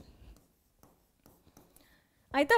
ನಾವು ಈ ಇವರ ಈ ಒಂದು ಮೆಟಲ್ ಇದು ಬಿಹೇವಿಯರನ್ನು ಒಂಥರ ಸಿ ಸಿ ಕ್ಯಾಮ್ರಾಸ್ ನೋಡಿದಂಗೆ ನಾವು ನೋಡ್ತಾ ಇರ್ತೀವಿ. ಹೇ, ಏನು ಮಾಡ್ತಿದ್ಯಾ ನೀನು ಅಂತ ಹೇಳಿ. ಸೊ ಲೆಟ್ ಸಿ ದೆನ್ ಹಾಂ, ಅವ್ರು ಹೇಗೆ ಬಿಹೇವ್ ಮಾಡ್ತಾರೆ ಅಂತ ಹೇಳಿ. Okay what happens when metals are burnt in air so different metals shows different rate of reaction ಅಥವಾ different ways of reaction towards oxygen ಎಲ್ಲರೂ ಕೂಡ ಆಕ್ಸಿಜನ್ ನಾನು ಬರ್ತೀನಿ ನಿನ್ನ ಹಿಂದೆ ಅಂತ ಹೇಳಿ ಡ್ರಾಮಾ ಮಾಡ್ಕೊಂಡು ಹೋಗಲ್ಲ. ಕೆಲವೊಂದು ಮೆಟಲ್ಸ್ ಮೈಂಡೇ ಮಾಡಲ್ಲ ಆಕ್ಸಿಜನ್ ಹೋಗಾಚೆಗೆ ಅಂತ ಹೇಳ್ತಾರೆ. ಈ ಥರ. It's like negligence it the core ಅಂಥ ಮೆಟಲ್ಸ್ಗಳನ್ನ ಆಕ್ಸಿಜನ್ಗೆ ಆಗಿ ಬರಲ್ಲ and that metal is the gold we wear gold and oxygen they are like this and enemies and they don't care for each other. There is no single compound of gold and oxygen. Literally. Best metals ಯಾರು ಗೊತ್ತಾ best oxide compounds sodium potassiums like sodium ಮತ್ತು potassiums like ಕರೆದು ಕರೆದು ಮಾತಾಡಿಸ್ತಾರೆ oxygen ಬಾರು ನನ್ನ ಜೊತೆ ಇರು be my best friend ಅಂತ ಎಲ್ಲ ಹೇಳ್ಕೊಂಡು right so let's talk about that metals such as potassium and sodium react so vigorously that they even catch fire for oxygen not that actually when they react with oxygen the heat is released ಆ heat ಏನಾಗುತ್ತೆ? ಆ ಮಾಯಿಶ್ಚರ್ನಲ್ಲಿರುವಂತಹ hydrogen gas ಕೂಡ ಅದ್ರ ಜೊತೆ react ಆಗುತ್ತೆ. So that time hydrogen gas release ಆಗುತ್ತಲ್ಲ, ಆ heat produce will make the hydrogen to catch fire so that vigorously sodium and potassium reacts ನೋಡೋಣ ಹೇಗೆ ರಿಯಾಕ್ಟ್ ಆಗುತ್ತೆ ಅಂತ ಹೇಳಿ if I keep potassium with oxygen what do I get oxide ನನಗೆ ಸಿಗಬೇಕು. ಯಾವಾಗ ಮೆಟಲ್ ಆಕ್ಸಿಜನ್ ಜೊತೆ ರಿಯಾಕ್ಟ್ ಆಗುತ್ತೋ, ನಮಗೆ ಮೆಟಲ್ ಆಕ್ಸೈಡ್ ಫಾರ್ಮ್ ಆಗುತ್ತೆ. ಏನು ಫಾರ್ಮ್ ಆಗುತ್ತೆ? ಮೆಟಲ್ ಆಕ್ಸೈಡ್ ಫಾರ್ಮ್ ಆಗುತ್ತೆ. For example if I keep potassium with oxygen oxygen is a gas so please write O two potassium is plus one oxygen is minus two ಹಾಗಾಗಿ formula becomes K two O potassium oxide ಅದೇ ಥರ ಗೊತ್ತಾಯ್ತಲ್ವ ಇದು ಹೇಗೆ ಬಂತು ಅಂತ ಹೇಳಿ? ನೋಡ್ಕೊಳ್ಳಿ. Potassium is plus one oxygen is minus two two ಇಲ್ಲಿಗೆ ಬರುತ್ತೆ ಒನ್ ಈಚೆಗೆ ಹೋಗುತ್ತೆ. So it becomes what K two O K two O ಆಯಿತಾ? ನೆಕ್ಸ್ಟ್ ಬ್ಯಾಲೆನ್ಸ್ ಮಾಡಿ ಇಕ್ವೇಷನ್ನ ನೀವು ಎರಡು ಅಂತ ಹೇಳಿ ಹಾಕ್ತೀರಲ್ವಾ? Two and it becomes four that's it so ಅದೇ ಥರ ಸೋಡಿಯಮ್ದು ರಿಯಾಕ್ಷನ್ಸ್ ಬರೀ sodium plus oxygen becomes sodium oxide ಯಾವ ಮೆಟಲ್ಸ್ ಕೊಟ್ಟರು ನೀವು reaction ಬರೀಬೇಕಾಗುತ್ತೆ. They react next hence to protect them and to prevent the accidental fires sodium and potassium ಇಲ್ಲಿ plus heat ಅಂತ ಕೂಡ ನೀವು ಬರಿಬೋದು. And you can even balance the equation. Similarly, the way I balanced it for potassium. So ಈ ಒಂದು accidental ಫೈರನ್ನು avoid ಮಾಡಲಿಕ್ಕೆ we always keep them in wax or oil paraffin wax ಅಥವಾ ಆಯಿಲ್ನಲ್ಲಿ ಸ್ಟೋರ್ ಮಾಡ್ತೀವಿ. ಇದೊಂದು ಇಂಪಾರ್ಟೆಂಟ್ ಕ್ವೆಶನ್ ಕೇಳ್ತಾರೆ ಅವ್ರು ಏನಾಗುತ್ತೆ? Metal and oxygen gives metal oxide example ಕೊಡಿ ಅಂತ ಹೇಳಿ ಕೇಳಿದಾಗ ಟೆಕ್ಸ್ಟ್ ಬುಕ್ನಲ್ಲಿ ಕಾಪರ್ ಕೊಟ್ಟಿದ್ದಾರೆ ಅಲ್ಯೂಮಿನಿಯಂ ಕೊಟ್ಟಿದ್ದಾರೆ. ಕಾಪರ್ ಯಾವಾಗ ಈ ಆಕ್ಸಿಜನ್ ಜೊತೆ ರಿಯಾಕ್ಟ್ ಆಗುತ್ತೋ ಆವಾಗ copper oxide C U O form ಆಗುತ್ತೆ. ಅಲ್ಲಿ K two O N A two O ಇಲ್ಲಿ ಯಾಕೆ ಸಿ ಯು ಓ ಗೊತ್ತಿರಲಿ? C U here has a charge of plus two oxygen minus two cancel ಆಗುತ್ತೆ, C U O ಆಗುತ್ತೆ. Easy right so ಇಲ್ಲಿ ನಿಮಗೆ C U O ಆಯಿತು and L write here two and L write here two that's it so ಈ C U O ಆಯಿತು ಅಂತ ಹೇಳಿ ಹೇಗೆ ಐಡೆಂಟಿಫೈ ಮಾಡ್ತೀರಾ? Initial it is a shining brownish gold brownish gold ಅಲ್ಲ? Shining brown colour golden brown colour ಅಂತ ಹೇಳ್ಬೋದು. ಇಲ್ಲಿ ಗೋಲ್ಡನ್ ಬ್ರೌನ್ ಕಲರ್ ಹೋಗಿ ಹೋಗಿ ಬ್ಲ್ಯಾಕ್ ಆಗಿ ಹೋಗುತ್ತೆ. Black layer you can see on copper so that confirms the presence of cuprous ಅಲ್ಲ copper oxide ಅಥವಾ ಕ್ಯುಪ್ರಿಕ್ ಆಕ್ಸೈಡ್ ಅಂತ ಹೇಳಿ ಕರಿತೇವೆ ಕ್ಯುಪ್ರಸ್ ಅಂತ ಹೇಳಿದಾಗ C U got different charge ಆಯಿತಾ ಅವ್ರು ಕೇಳ್ತಾರೆ ಯಾಕೆ ಸೋಡಿಯಂನ ಪೊಟ್ಯಾಷಿಯಮ್ನ ಸ್ಟೋರ್ ಮಾಡ್ತೀರಾ ಅಂತ ಹೇಳಿ ನಿಮಗೆ ಗೊತ್ತಿರಲಿ ಯಾಕೆ ಸ್ಟೋರ್ ಮಾಡ್ತೀವಿ because it catches fire when it reacts with oxygen and atmospheric moisture producing lot of heat and that heat makes the hydrogen to catch fire and so on so next ಹೀಗೆ ಇಕ್ವೇಷನ್ಸ್ನ ಬರೀತೀರಾ ಕಾಪರಿಗೆ ಏನಾಗುತ್ತೆ? ಮತ್ತು ordinary ಟೆಂಪ್ರೇಚರ್ನಲ್ಲಿ ಕೆಲವೊಂದಷ್ಟು ಮೆಟಲ್ಸ್ಗಳು ordinary normal ಟೆಂಪ್ರೇಚರ್ನಲ್ಲಿ ಕೆಲವೊಂದು ಮೆಟಲ್ಸ್ಗಳು ತನ್ನಿಂದ ತಾನಾಗೆ ಅಟ್ಮಾಸ್ಫಿಯರಿಕ್ ಆಕ್ಸಿಜನ್ ಜೊತೆ ರಿಯಾಕ್ಟ್ ಮಾಡಿ ತಮ್ಮ ಸರ್ಫೇಸನ್ನೆಲ್ಲ ಡಲ್ ಮಾಡ್ಕೊಂಡಿರುತ್ತೆ. ಅಂಥವು ಯಾರು ಅಂತ ಹೇಳಿ ನೋಡೋಣ. ಅಲ್ಯೂಮಿನಿಯಂ ಅಳ್ತಾ ಇರುತ್ತೆ. ಹ್ಞೂ ನನ್ನ ಸರ್ಫೇಸ್ ಎಲ್ಲ ಡಲ್ ಆಗಿಬಿಡ್ತು, ಬಂದ್ರಪ್ಪ, ನಾನು ಕ್ಲೀನ್ ಮಾಡಿ ಸ್ಯಾಂಡ್ ಪೇಪರ್ ತಗೊಂಡು ಅಂತ ಹೇಳಿ. ಜಿಂಕು ಹಾಗೆ ಲೆಡ್ ಕೂಡ ಹಾಗೆ. ಮೆಗ್ನೀಷಿಯಮ್ ಅಂತೂ ಹೇಳೋದೇ ಬೇಡ. ಆ್ಯಕ್ಟಿವಿಟಿನಲ್ಲೇ ನಾವು ಕಲ್ತಿದ್ದೀವಿ, ಅಲ್ವಾ?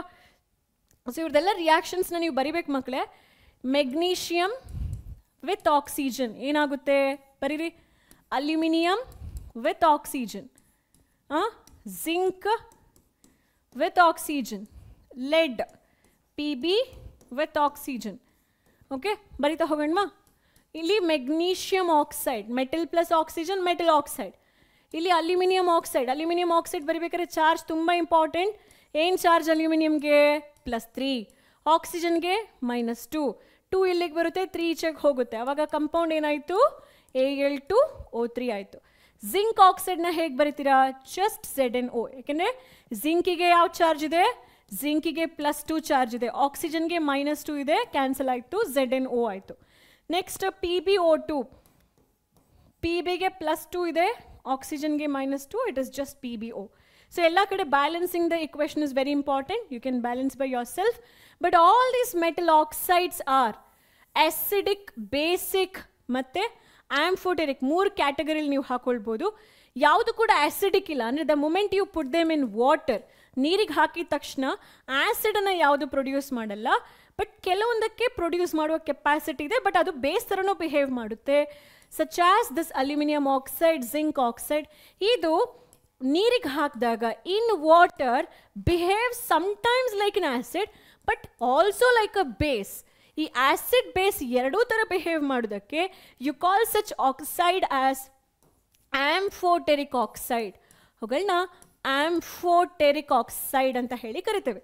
So I talk about it later ಇದಕ್ಕೊಂದು ಎಕ್ಸ್ಪ್ಲನೇಷನು ಸ್ಲೈಡು ರಿಯಾಕ್ಷನು ಎಲ್ಲ ಇದೆ. ನಾನು ಹೇಳ್ತಾ ಹೋಗ್ತೀನಿ ನಿಮಗೆ. ಮಿಕ್ಕಿದ ಆಕ್ಸೈಡ್ಗಳು ಮೆಗ್ನೀಷಿಯಮ್ ಆಕ್ಸೈಡ್ ಆಗಿರ್ಬೋದು ಪಿ ಬಿ ಒ ಆಗಿರ್ಬೋದು ಅವುಗಳನ್ನ we call it as basic oxide ಯಾಕೆ ಮೆಟಲ್ ಆಕ್ಸೈಡ್ಸನ್ನು ಬೇಸಿಕ್ ಆಕ್ಸೈಡ್ ಕರಿಬೇಕು? ಬಿಕಾಸ್ ಇವುಗಳನ್ನ ನೀರಿಗೆ ಹಾಕಿದರೆ ಸೇ ದ್ಯಾಟ್ ಮೆಗ್ನೀಷಿಯಮ್ ಆಕ್ಸೈಡ್ನ ನಾನು ನೀರಿಗೆ ಹಾಕ್ತೀನಿ ವಾಟರಿಗೆ ಹಾಕ್ತೀನಿ. ನನಗೇನು ಸಿಗುತ್ತೆ?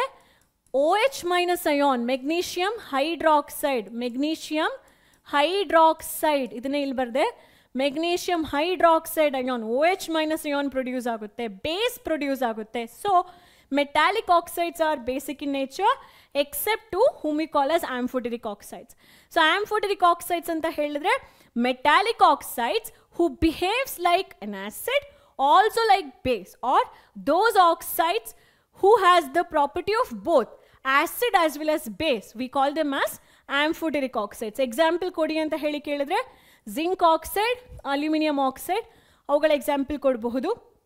ಅವ್ರು ಕೇಳ್ತಾರೆ write the amphoteric write two example for amphoteric reaction sorry amphoteric oxides and also write the reaction of acid as well as base with one of the amphoteric oxides ನಾನು ಇದೇ ರಿಯಾಕ್ಷನ್ನ ಇನ್ನೊಂದ್ಸಲ ಬರ್ ತೋರಿಸ್ತೀನಿ ನಿಮಗೆ.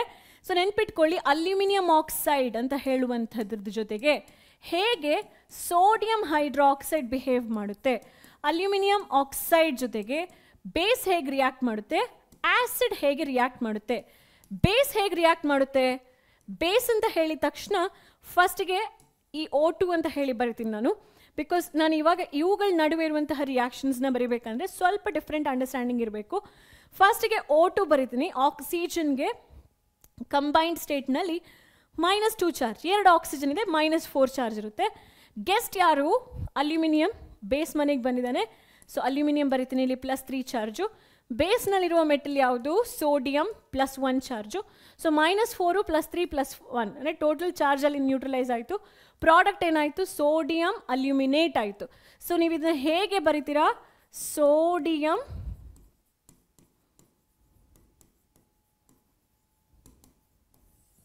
ಸೋಡಿಯಂ ಅಲ್ಯೂಮಿನೇಟ್ ಅಂತ ಹೇಳಿ ಬರೀತೀರ. ಜೊತೆಗೆ ಇಲ್ಲಿ ಏನೋ ಒಂದು ಬಿಟ್ರಿ ಅಲ್ವಾ? Hydrogen gas. ಅದು ಇಲ್ಲಿ ರಿಲೀಸ್ ಆಯಿತು. ಹೈಡ್ರೋಜನ್ ಗ್ಯಾಸ್ ಏನಾಯಿತು? ರಿಲೀಸ್ ಆಯಿತು. ಬಟ್ ಹೈಡ್ರೋಜನ್ ಗ್ಯಾಸ್ ಅದೇ ಥರ ರಿಲೀಸ್ ಆಗಲ್ಲ. It will pick up one oxygen to form water hydrogen gas release ಆಗ್ತಿತ್ತು if you would have taken aluminium metal but ನೀವು ಅಲ್ಯೂಮಿನಿಯಂ ಜೊತೆ ಆಕ್ಸಿಜನ್ ತೊಗೊಂಡಿದ್ದೀರಲ್ವಾ ಆ ಆಕ್ಸಿಜನ್ ಕೂಡ ಹೈಡ್ರೋಜನ್ ಜೊತೆ ಹೋಗುತ್ತೆ. ನಾನು ಬರ್ತೀನಿ ನಾನು ಬರ್ತೀನಿ ಅಂತ ಹೇಳ್ಕೊಂಡು ಹೊರಟೋಗುತ್ತೆ. ಇಲ್ಲೂ ಕೂಡ ನೋಡಿ ಅಲ್ಯೂಮಿನಿಯಂ ಏನು ಮಾಡುತ್ತೆ? ಕ್ಲೋರಿನ್ ಜೊತೆಗೆ ರಿಯಾಕ್ಟ್ ಆಗುತ್ತೆ. ಅಲ್ಯೂಮಿನಿಯಂ ಕ್ಲೋರೈಡ್ ಆಯಿತು. ಪಾಸಿಟಿವ್ ನೆಗೆಟಿವ್ ಪಾಸಿಟಿವ್ ನೆಗೆಟಿವ್ ಇಲ್ಲಿರುವ ಪಾಸಿಟಿವ್ ಇಲ್ಲಿರುವ ನೆಗೆಟಿವ್ ಜೊತೆನೇ ರಿಯಾಕ್ಟ್ ಆಗಬೇಕು. ಬಿಕಾಸ್ ಪಾಸಿಟಿವ್ ಪಾಸಿಟಿವ್ ರಿಪೆಲ್ ಇಚ್ಚಿದ್ದಾರೆ ರೈಟ್ ಸೊ ಅಲ್ಯೂಮಿನಿಯಂ ಕ್ಲೋರೈಡ್ ಆಯಿತು. ನೆಕ್ಸ್ಟ್ ಹೈಡ್ರೋಜನ್, ಆಕ್ಸಿಜನ್ ಏನು ಸಿಗಬೇಕು ನಿಮಗೆ? ಆಬ್ವಿಯಸ್ಲಿ ಯೂನಿವರ್ಸಲ್ ಸಾಲ್ವೆಂಟ್ ವಾಟರ್ ಸಿಗಬೇಕು. So this how you should remember the equation and this equation is very very important hundred percent hundred percent question ಇದು, ಈ ಸಲ. ಕೇಳಲಿಲ್ಲ ಅಂತ ಹೇಳಿದರೆ ನೀವು ಬನ್ನಿ ನಾನು ಟ್ರೀಟ್ ಕೊಡಿಸ್ತೀನಿ okay a treat of maybe some good books all set the metal ಆಕ್ಸೈಡ್ಸ್ನ ವಾಟರಿಗೆ ಹಾಕಿದಾಗ ನಾನು ಆಲ್ರೆಡಿ ಹೇಳಿದೆ ಅಲ್ವಾ? ಕೆಲವೊಂದು ಬೇಸ್ ಪ್ರೊಡ್ಯೂಸ್ ಆಗುತ್ತೆ. ಸೋಡಿಯಂ ಆಕ್ಸೈಡ್ನ ಇದನ್ನ ಯಾಕೆ ಬೇಸಿಕ್ ಅಂತ ಹೇಳಿ ಕರಿಬೇಕು? Because in water it produce base ಅದೇ ಥರ potassium oxide is basic because in water it produce O H minus ion ಕೆಲವೊಂದು ಬೇಸ್ಗಳು ವಾಟರ್ ಸಾಲ್ಯುಬಲ್ ಆಗಿರುತ್ತೆ and we call the as alkali best alkalis ಯಾವುದು? Sodium hydroxide, potassium hydroxide. So anodising ಅಂತ ಹೇಳೋ ಈ ಒಂದು ಪಾಯಿಂಟನ್ನು ನಾನು ನಿಮಗೆ ಲಾಸ್ಟಿಗೆ ಹೇಳ್ತಾ ಹೋಗ್ತೀನಿ. When I talk about how do we prevent corrosion ಆ ಟೈಮ್ನಲ್ಲಿ ಹೇಳ್ತಾ ಹೋಗ್ತೇನೆ.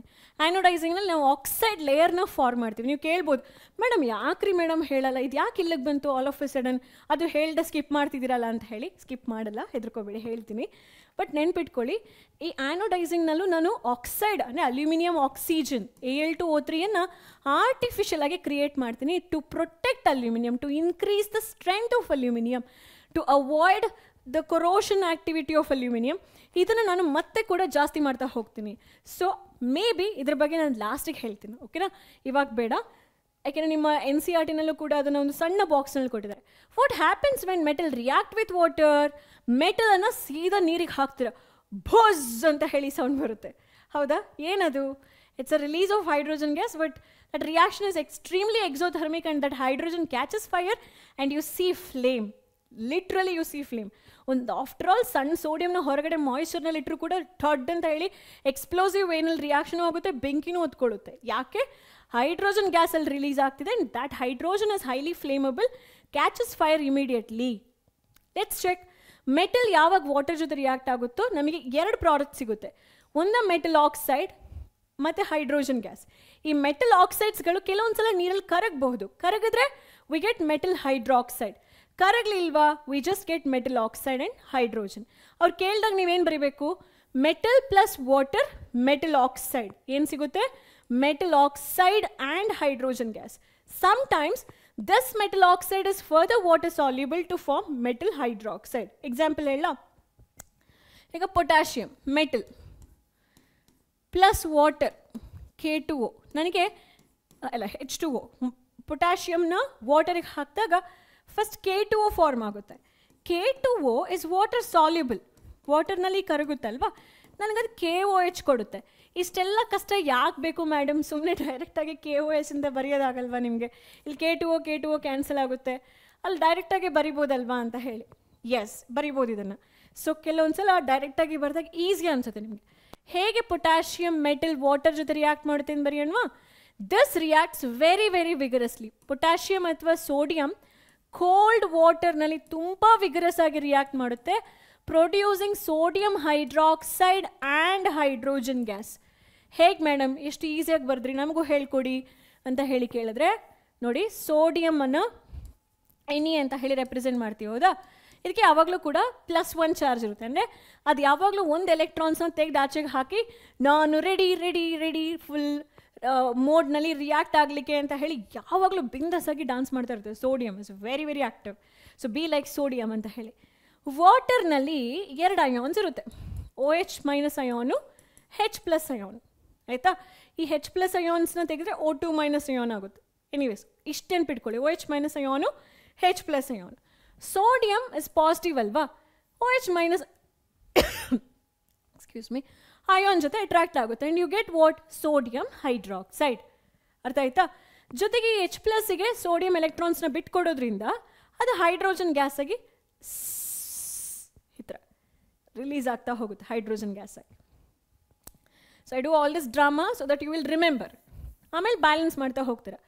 ಪೊಟ್ಯಾಷಿಯಮ್ ರಿಯಾಕ್ಟ್ಸ್ ವಿತ್ ವಾಟರ್ ಇಲ್ಲೂ ಕೂಡ ಕಾನ್ಸೆಪ್ಟ್ ಸೇಮ್ ಏನು ಪ್ರೊಡ್ಯೂಸ್ ಆಗುತ್ತೆ? Potassium hydroxide and hydrogen gas balance ಮಾಡಿ ಇಕ್ವೇಷನ್ನ ಅಲ್ಲಿ ಎಷ್ಟು ಹೈಡ್ರೋಜನ್ ಇದೆ? ಮೂರಿದೆ order to make it even put two four ಆಯಿತು.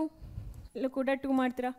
That's it okay so this is the reaction ಈಸಿಯಾಗಿ ಇಟ್ಕೊಳ್ತೀನಿ ನಾನು metal reacts with water sometimes produces oxide sometimes produces hydroxides so it produces hydroxide with sodium potassium even with calcium but in ಇಲ್ಲೆಲ್ಲ ಹೆಂಗೆ ಗೊತ್ತಾ ಮಕ್ಕಳೇ cold water even with cold water sodium and potassium are capable of releasing hydrogen gas with huge energy highly exothermic reactions are highly exothermic ಜಾಸ್ತಿ heat energy release ಆಗುತ್ತೆ that heat energy will cause the hydrogen to catch fire. Okay? What about calcium? Calcium story ಏನು calcium when it reacts with water normal water not cold water it will not react with cold water it reacts with normal water normal ಅಂದರೆ water at room temperature ಅಂತ ಹೇಳ್ಬೋದು here you get calcium hydroxide CaOH whole twice plus hydrogen gas just you have to write here two times same concept calcium will attract the OH minus ion of the water and it forms calcium hydroxide because calcium has a charge of ಏನು plus two ನೋಡಿ ಮಕ್ಕಳೇ ನಾನು calcium ಹೈಡ್ರಾಕ್ಸೈಡ್ನ ಯಾಕೆ ಈ ಥರ ಬರೀಬೇಕು ಅಂತ ಗೊತ್ತಿರಬೇಕು ಕ್ಯಾಲ್ಸಿಯಂ ಸಿಂಬಲ್ ಸಿ ಎ ಗೊತ್ತಿದೆಯಾ ಬ್ರ್ಯಾಕೆಟ್ ಹಾಕೊಳ್ಳಿ ಅಲ್ಲಿ ಎರಡು ಎಲಿಮೆಂಟ್ ಇದೆ ಓ ಇದೆ ಎಚ್ ಇದೆ ಕ್ಲೋಸ್ ಮಾಡಿ ಆಮೇಲೆ ನೀವು ಕ್ಯಾಲ್ಸಿಯಮ್ದು ಚಾರ್ಜು ಟೂ ಓ ಎಚ್ ಇದು ಚಾರ್ಜು ಮೈನಸ್ ಒನ್ನು ಚಾರ್ಜನ್ನ ಇಂಡಿಕೇಟ್ ಆಚೆ ಈಚೆ ತಗೋತೀರ. ಚಾರ್ಜ್ನ ನಂಬರ್ನ ಆಚೆ ಈಚೆ ತಗೋದಿರ ಈ ಪ್ಲಸ್ಸು ಮೈನಸ್ನ ಅಲ್ಲ. ಸೊ ಒನ್ ಇಲ್ಲಿಗೆ ಬರುತ್ತೆ. ಅದನ್ನ ಬರೆದ್ರೂ ಒಂದೇ, ಬರೆಯೋದಿದ್ರೂ ಒಂದೇ. Two is belonging to oxygen two is belonging to hydrogen ಕೂಡ. ಹಾಗಾಗಿ you write here outside O H twice easy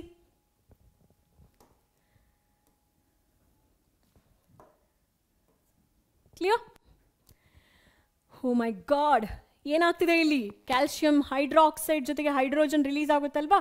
ಇದು ಕೆಲವೊಂದಷ್ಟು ಕ್ಯಾಲ್ಸಿಯಂ ಮೆಟಲ್ಸ್ ಕೆಳಗಡೆಗೆ ಬಂದು, ಅಂದರೆ ಇನ್ನು ಕ್ಯಾಲ್ಸಿಯಂ ಮೆಟಲ್ಸ್ಗಳು ಅವಾಗಷ್ಟೇ ರಿಯಾಕ್ಟ್ ಆಗ್ತಿದೆ ಇನ್ನೊಂದು ಕೆಲವೊಂದು ರಿಯಾಕ್ಟ್ ಆಗಿಲ್ಲ. ಆ ರಿಯಾಕ್ಟ್ ಆಗದೇ ಇರುವ ಕ್ಯಾಲ್ಸಿಯಂನ ಬಸ್ ಅಂತ ಹೇಳಿ ಮೇಲಕ್ಕೆ ಎತ್ತುತ್ತೆ ಯಾಕೆ? ಕೆಲವೊಂದು ರಿಯಾಕ್ಟ್ ಆಗಿರುವ ಕ್ಯಾಲ್ಸಿಯಂ ಹೈಡ್ರಾಕ್ಸೈಡು ಹೈಡ್ರೋಜನ್ ಗ್ಯಾಸ್ನ ರಿಲೀಸ್ ಮಾಡುತ್ತೆ. ಈ ಹೈಡ್ರೋಜನ್ ಗ್ಯಾಸ್ ಇನ್ನೇನು ಮಾಡುತ್ತೆ? ಅವಾಗಷ್ಟೇ ರಿಯಾಕ್ಟ್ ಆಗ್ತಾ ಇರುವ ಕ್ಯಾಲ್ಸಿಯಮ್ನ ಮೇಲೆ ಕೆತ್ಕೊಂಡು ಬರುತ್ತೆ. So it looks as if like some calcium ಅಥವಾ magnesium this happens even with magnesium but magnesium hot water ಜೊತೆಗೆ ಕ್ಯಾಲ್ಸಿಯಂ ಕೋಲ್ಡ್ ವಾಟರ್ ಜೊತೆಗೆ. That is the major difference ನೆನಪಿರಲಿ because magnesium will never ever react with cold water ಅಥವಾ even normal water there is no reaction ಹಾಗಾಗಿ it takes the metal and it comes up like this you feel like calcium is floating magnesium is floating because down imagine pen as hydrogen gas ಯಾರಿದರಲ್ಲಿ hydrogen gas imagine my hand is calcium ಈ ಥರ ಆಯಿತಾ?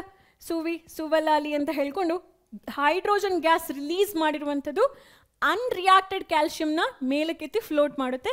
seems like calcium and magnesium is floating and there is a definite question is this reaction violent it is not normal it is less violent why there is no hydrogen I mean why there is no fire second question there is no fire because this reaction is not as exothermic as with, with the case of potassium and sodium ಅಲ್ಲಿ release ಆಗಿರುವಷ್ಟು heat ಇಲ್ಲಿ release ಆಗಲ್ಲ ಹಾಗಾಗಿ ಇಲ್ಲಿ heat release ಆಗಲ್ಲ ಅಲ್ವಾ ಅದು ಹೈಡ್ರೋಜನ್ಗೆ ಬೆಂಕಿಯನ್ನು ಹಚ್ಚಲ್ಲ. Hydrogen is not burning because heat release is not sufficient for the hydrogen to catch fire ಹಮ್ಮ ಅರ್ಥ ಆಯ್ತಾ? Okay I was is doing drama ನಿಮಗೆ ಎರಡು ಥರದ ಕ್ವೆಶನ್ ಕೇಳ್ತಾರೆ ಅಂತ ಹೇಳಿದೆ. ಯಾಕೆ? ಇದು ಈ ರಿಯಾಕ್ಷನ್ ವಾಯ್ಲೆಂಟಾ ಅಲ್ವಾ? ಅಲ್ಲ.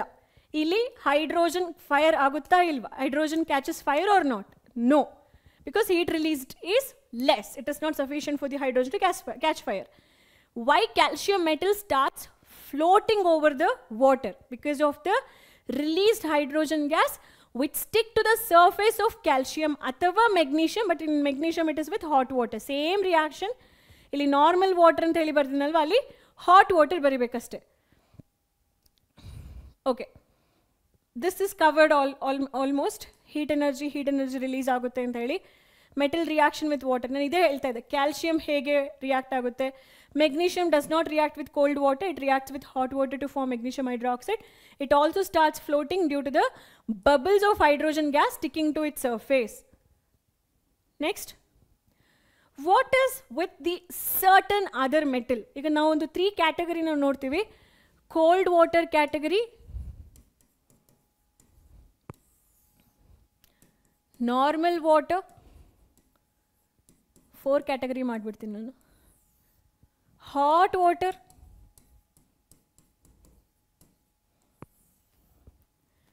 and steam steam is more powerful ಅಲ್ವಾ?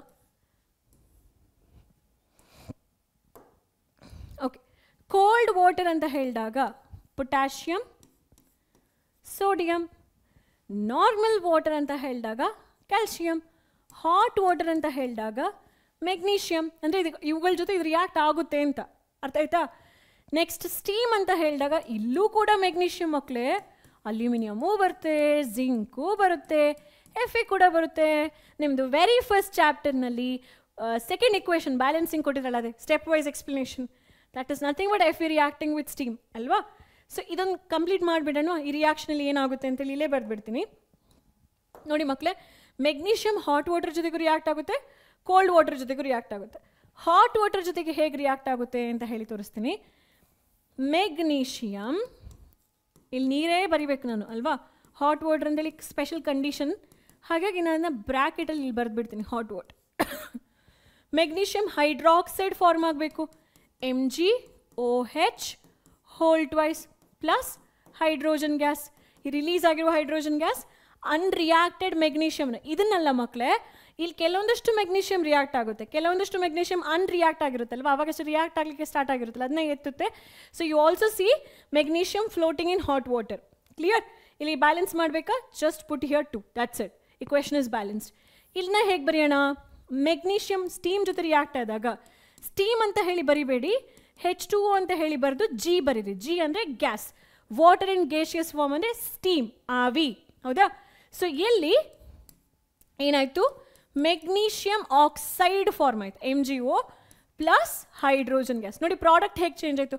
ಇಲ್ಲಿವರೆಗೂ ಕೂಡ ಹೈಡ್ರಾಕ್ಸೈಡ್ ಅಯಾನ್ ಫಾರ್ಮ್ ಆಗ್ತಾಯಿತ್ತು ಬಟ್ ಯಾವಾಗ ಸ್ಟೀಮ್ ರಿಯಾಕ್ಟ್ ಆಗುತ್ತೋ water in steam form metal ಜೊತೆ ರಿಯಾಕ್ಟ್ ಆಗುತ್ತೋ you can expect oxide formation aluminium with steam ಏನು ಫಾರ್ಮ್ ಆಗಬೇಕು? ಅಲ್ಯೂಮಿನಿಯಂ ಆಕ್ಸೈಡ್ ಫಾರ್ಮ್ ಆಗಬೇಕು. L two O three plus hydrogen gas zinc with steam ಏನಾಗಬೇಕು? Zinc H two O zinc oxide form ಆಗಬೇಕು. Zinc oxide plus hydrogen gas F E ಏನು form ಆಗಬೇಕು? F E steam mixed oxide F E three O four ಅದನ್ನು magnetite ಅಂತಲೂ ಕರೀತಾರೆ, but ಅದು or ಫಾರ್ಮ್ನಲ್ಲಿ ಇದ್ದಾಗ ಇದನ್ನು ಮಿಕ್ಸ್ಡ್ ಆಕ್ಸೈಡ್ ಅಂತ ಹೇಳಿ ಕರೀತಾರೆ, ಆಕ್ಸೈಡ್ ಆಫ್ ಅಯನ್ ಸೊ ಇದನ್ನ ಈಕ್ವೇಷನ್ನ ಬ್ಯಾಲೆನ್ಸ್ ಮಾಡೋದು ನಿಮ್ಮ ಡ್ಯೂಟಿ ಬಟ್ ಈ ಥರ ಫಾರ್ಮ್ ಆಗುತ್ತೆ. ನೋಡಿ ವಾಟರ್ ಸ್ಟೀಮ್ನಲ್ಲಿ ಬಂದಾಗ ಆಕ್ಸೈಡು ವಾಟರ್ ವಾಟರ್ ಆಗೇ ಇದ್ದಾಗ ಹೈಡ್ರಾಕ್ಸೈಡು ಇಲ್ಲೂ ಕೂಡ ಹೈಡ್ರಾಕ್ಸೈಡ್ ಅಲ್ವಾ? K plus water K O H plus hydrogen gas N A plus water N A O H plus hydrogen gas ನೀವು ಈಕ್ವೇಷನ್ ಬರಿಬೇಕಾದ್ರೆ ಫಸ್ಟ್ ಗಮನ ಕೊಡಬೇಕಾಗಿರೋದು ಪ್ರಾಪರಾಗಿ ಪ್ರಾಡಕ್ಟನ್ನು ಬರೆಯೋಕ್ಕೆ ಈಕ್ವೇಷನ್ ಬರೆಯೋಕ್ಕಿಂತ ಮುಂಚೆನೇ ಮಕ್ಕಳು ಅಯ್ಯೋ, ನಾನು ಹೇಗೆ ಬ್ಯಾಲೆನ್ಸ್ ಮಾಡೋದು? ನನಗೆ ಬ್ಯಾಲೆನ್ಸ್ ಮಾಡೋಕೆ ಗೊತ್ತಿಲ್ಲ. ನಾನು ಬರೆದಿರೋ ಪ್ರಾಡಕ್ಟ್ ಕರೆಕ್ಟಾ ಇಲ್ವಾ? ಅಯ್ಯೋ ಇದನ್ನ ಹೇಗೆ ಬರೆಯೋದು? ಟೀಚರ್ಸ್ ಎಲ್ಲ ಹೇಗೆ ಇದನ್ನ ಇಕ್ವೇಷನ್ನ ನೆನ್ಪಿಟ್ಕೊಳ್ತಾರೆ? Why this equations are existing why this chemistry ಅಯ್ಯೋ, ಬೇಡ ಇತ್ತು. I shouldn't have taken chemistry at all chemistry is my difficult subject ಅಂತೆಲ್ಲ ಹೇಳ್ತೀರಲ್ಲ, ಯಾಕೆ ಹೇಳ್ತೀರಾ ಅಂದರೆ ಯು ಆರ್ ನಾಟ್ ಅಂಡರ್ಸ್ಟ್ಯಾಂಡಿಂಗ್ ಅರ್ಥ ಮಾಡ್ಕೋತೀರ, ಯಾವುದು ಯಾವುದು ಕನೆಕ್ಟೆಡ್ ಡಾಟ್ಸ್ ಕನೆಕ್ಟ್ ಮಾಡ್ತಾ ಹೋಗಿ, ಚುಕ್ಕಿ ಆಟ ಥರ ಅದು. The once you start understanding connecting the concepts you learn it becomes easy sir steam ಜೊತೆ ರಿಯಾಕ್ಟ್ ಆಗುವ ಮೆಟಲ್ಸ್ ಯಾವುದು?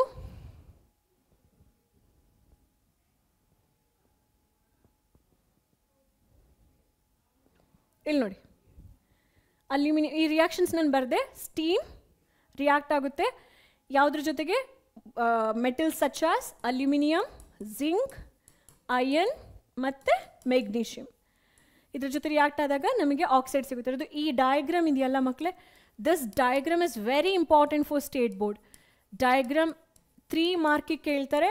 Very very very very very very very important for state board as well as for C B S C board this activity is also very very important hope it's clear ಕೆಲವೊಂದ್ಸಲ ಕೇಳ್ತಾರೆ which metal do not react with water at all the gold what you wear silver what you wear will never react platinum what you wear will never react but ಅದ್ರ ಜೊತೆಗೆ lead so lead ಕೂಡ react ಮಾಡಲ್ಲ ಮತ್ತು copper ಕೂಡ react ಮಾಡಲ್ಲ ಓಕೆನಾ next let see which metal react with an acid which will not so reactivity series ನಾನು ತಗೊಂಡು ಬಂದಿದ್ದೀನಿ ಇಲ್ಲಿ.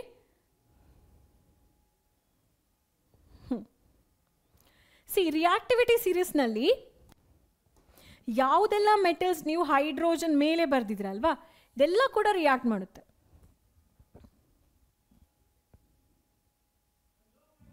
ಲೆಡ್ಡಿದ ಮೇಲೆ ಟಿನ್ ಇದೆ. ಎಸ್ ಎನ್ ಓಕೆ ಸೊ ಇದಕ್ಕಿನ್ನ ಇನ್ನೂ ಕೂಡ ಜಾಸ್ತಿ ಮೆಟಲ್ಸ್ಗಳು ಆ್ಯಡ್ ಆನ್ ಆಗುತ್ತೆ ನೀವು ಹೈಯರ್ ಕ್ಲಾಸಸ್ಗೆ ಹೋಗ್ಬೇಕಾರೆ ಯಾವುದೆಲ್ಲ metals which are placed above hydrogen will release hydrogen from the respective acid except are H N three okay so ಯಾಕೆ ಹೇಗೆ ವಿ ವಿಲ್ ಸ್ಟಡಿ ನಾವು ಸೊ ಮೆಟಲ್ ಯಾವಾಗ ರಿಯಾಕ್ಟ್ ಮಾಡುತ್ತೆ ಆ್ಯಸಿಡ್ ಜೊತೆ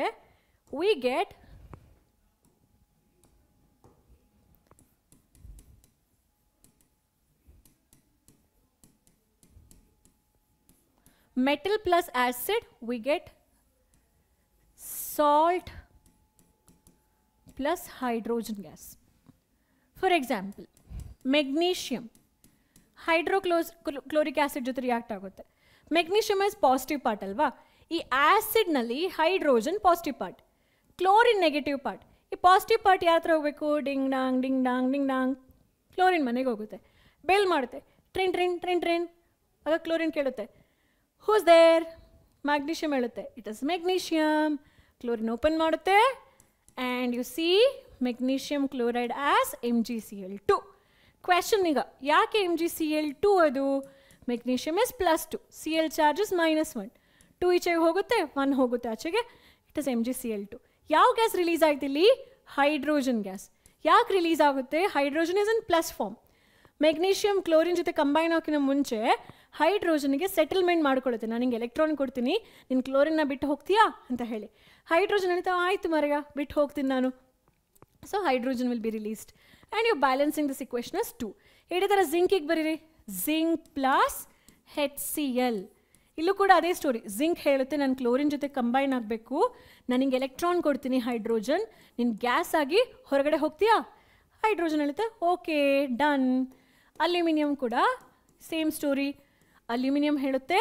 ನಾನು ಕ್ಲೋರಿನ್ ಜೊತೆ ಕಂಬೈನ್ ಆಗ್ತೀನಿ ಬಟ್ ನಾನು ಮೆಗ್ನೀಷಿಯಮ್ ಜಿಂಕ್ ಥರಲ್ಲ ಮೂರು ಕ್ಲೋರಿನ್ ಜೊತೆ ಕಂಬೈನ್ ಆಗ್ತೀನಿ ಹೈಡ್ರೋಜನ್ ನನಗೆ ಎಲೆಕ್ಟ್ರಾನ್ಸ್ ಕೊಡ್ತೀನಿ. ಹೋಗ್ಬಿಡಪ್ಪ ನೀನು ಇಲ್ಲಿಂದ. ಹೈಡ್ರೋಜನ್ ಕೂಡ ಹೋಗುತ್ತೆ. So magnesium zinc iron F E F E F E C L two major product ಆಗಿರುತ್ತೆ. ಬಿಕಾಸ್ ರಿಲೀಸ್ ಆಗುವಂತಹ hydrogen gas F E C L three ಪ್ರಾಡಕ್ಟನ್ನು ಫಾರ್ಮ್ ಮಾಡೋಕ್ಕೆ ಬಿಡಲ್ಲ.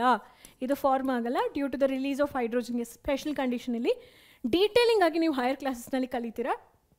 ರಿಡಕ್ಷನ್ ಪ್ರಾಸೆಸ್ ಹೇಗೆ?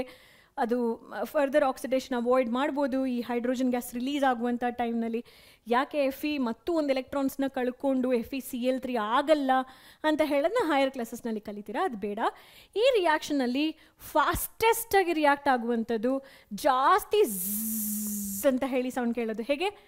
ಝ್ ಅಂತ ಹೇಳಿ ಸೌಂಡ್ ಕೇಳೋದು magnesium because it is very reactive magnesium is ಪಟ ಪಟ ಪಟ ಹೈಡ್ರೋಜನ್ಗೆ ಎಲೆಕ್ಟ್ರಾನ್ಸ್ ಕೊಡುತ್ತೆ.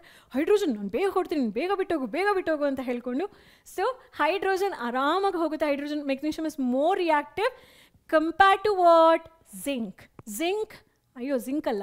Aluminium followed by zinc followed by F E ಎಕ್ಸೈಟ್ಮೆಂಟ್ನಲ್ಲಿ ನಾವು ಸ್ವಲ್ಪ ಅಲರ್ಟ್ ಆಗಿರಬೇಕು.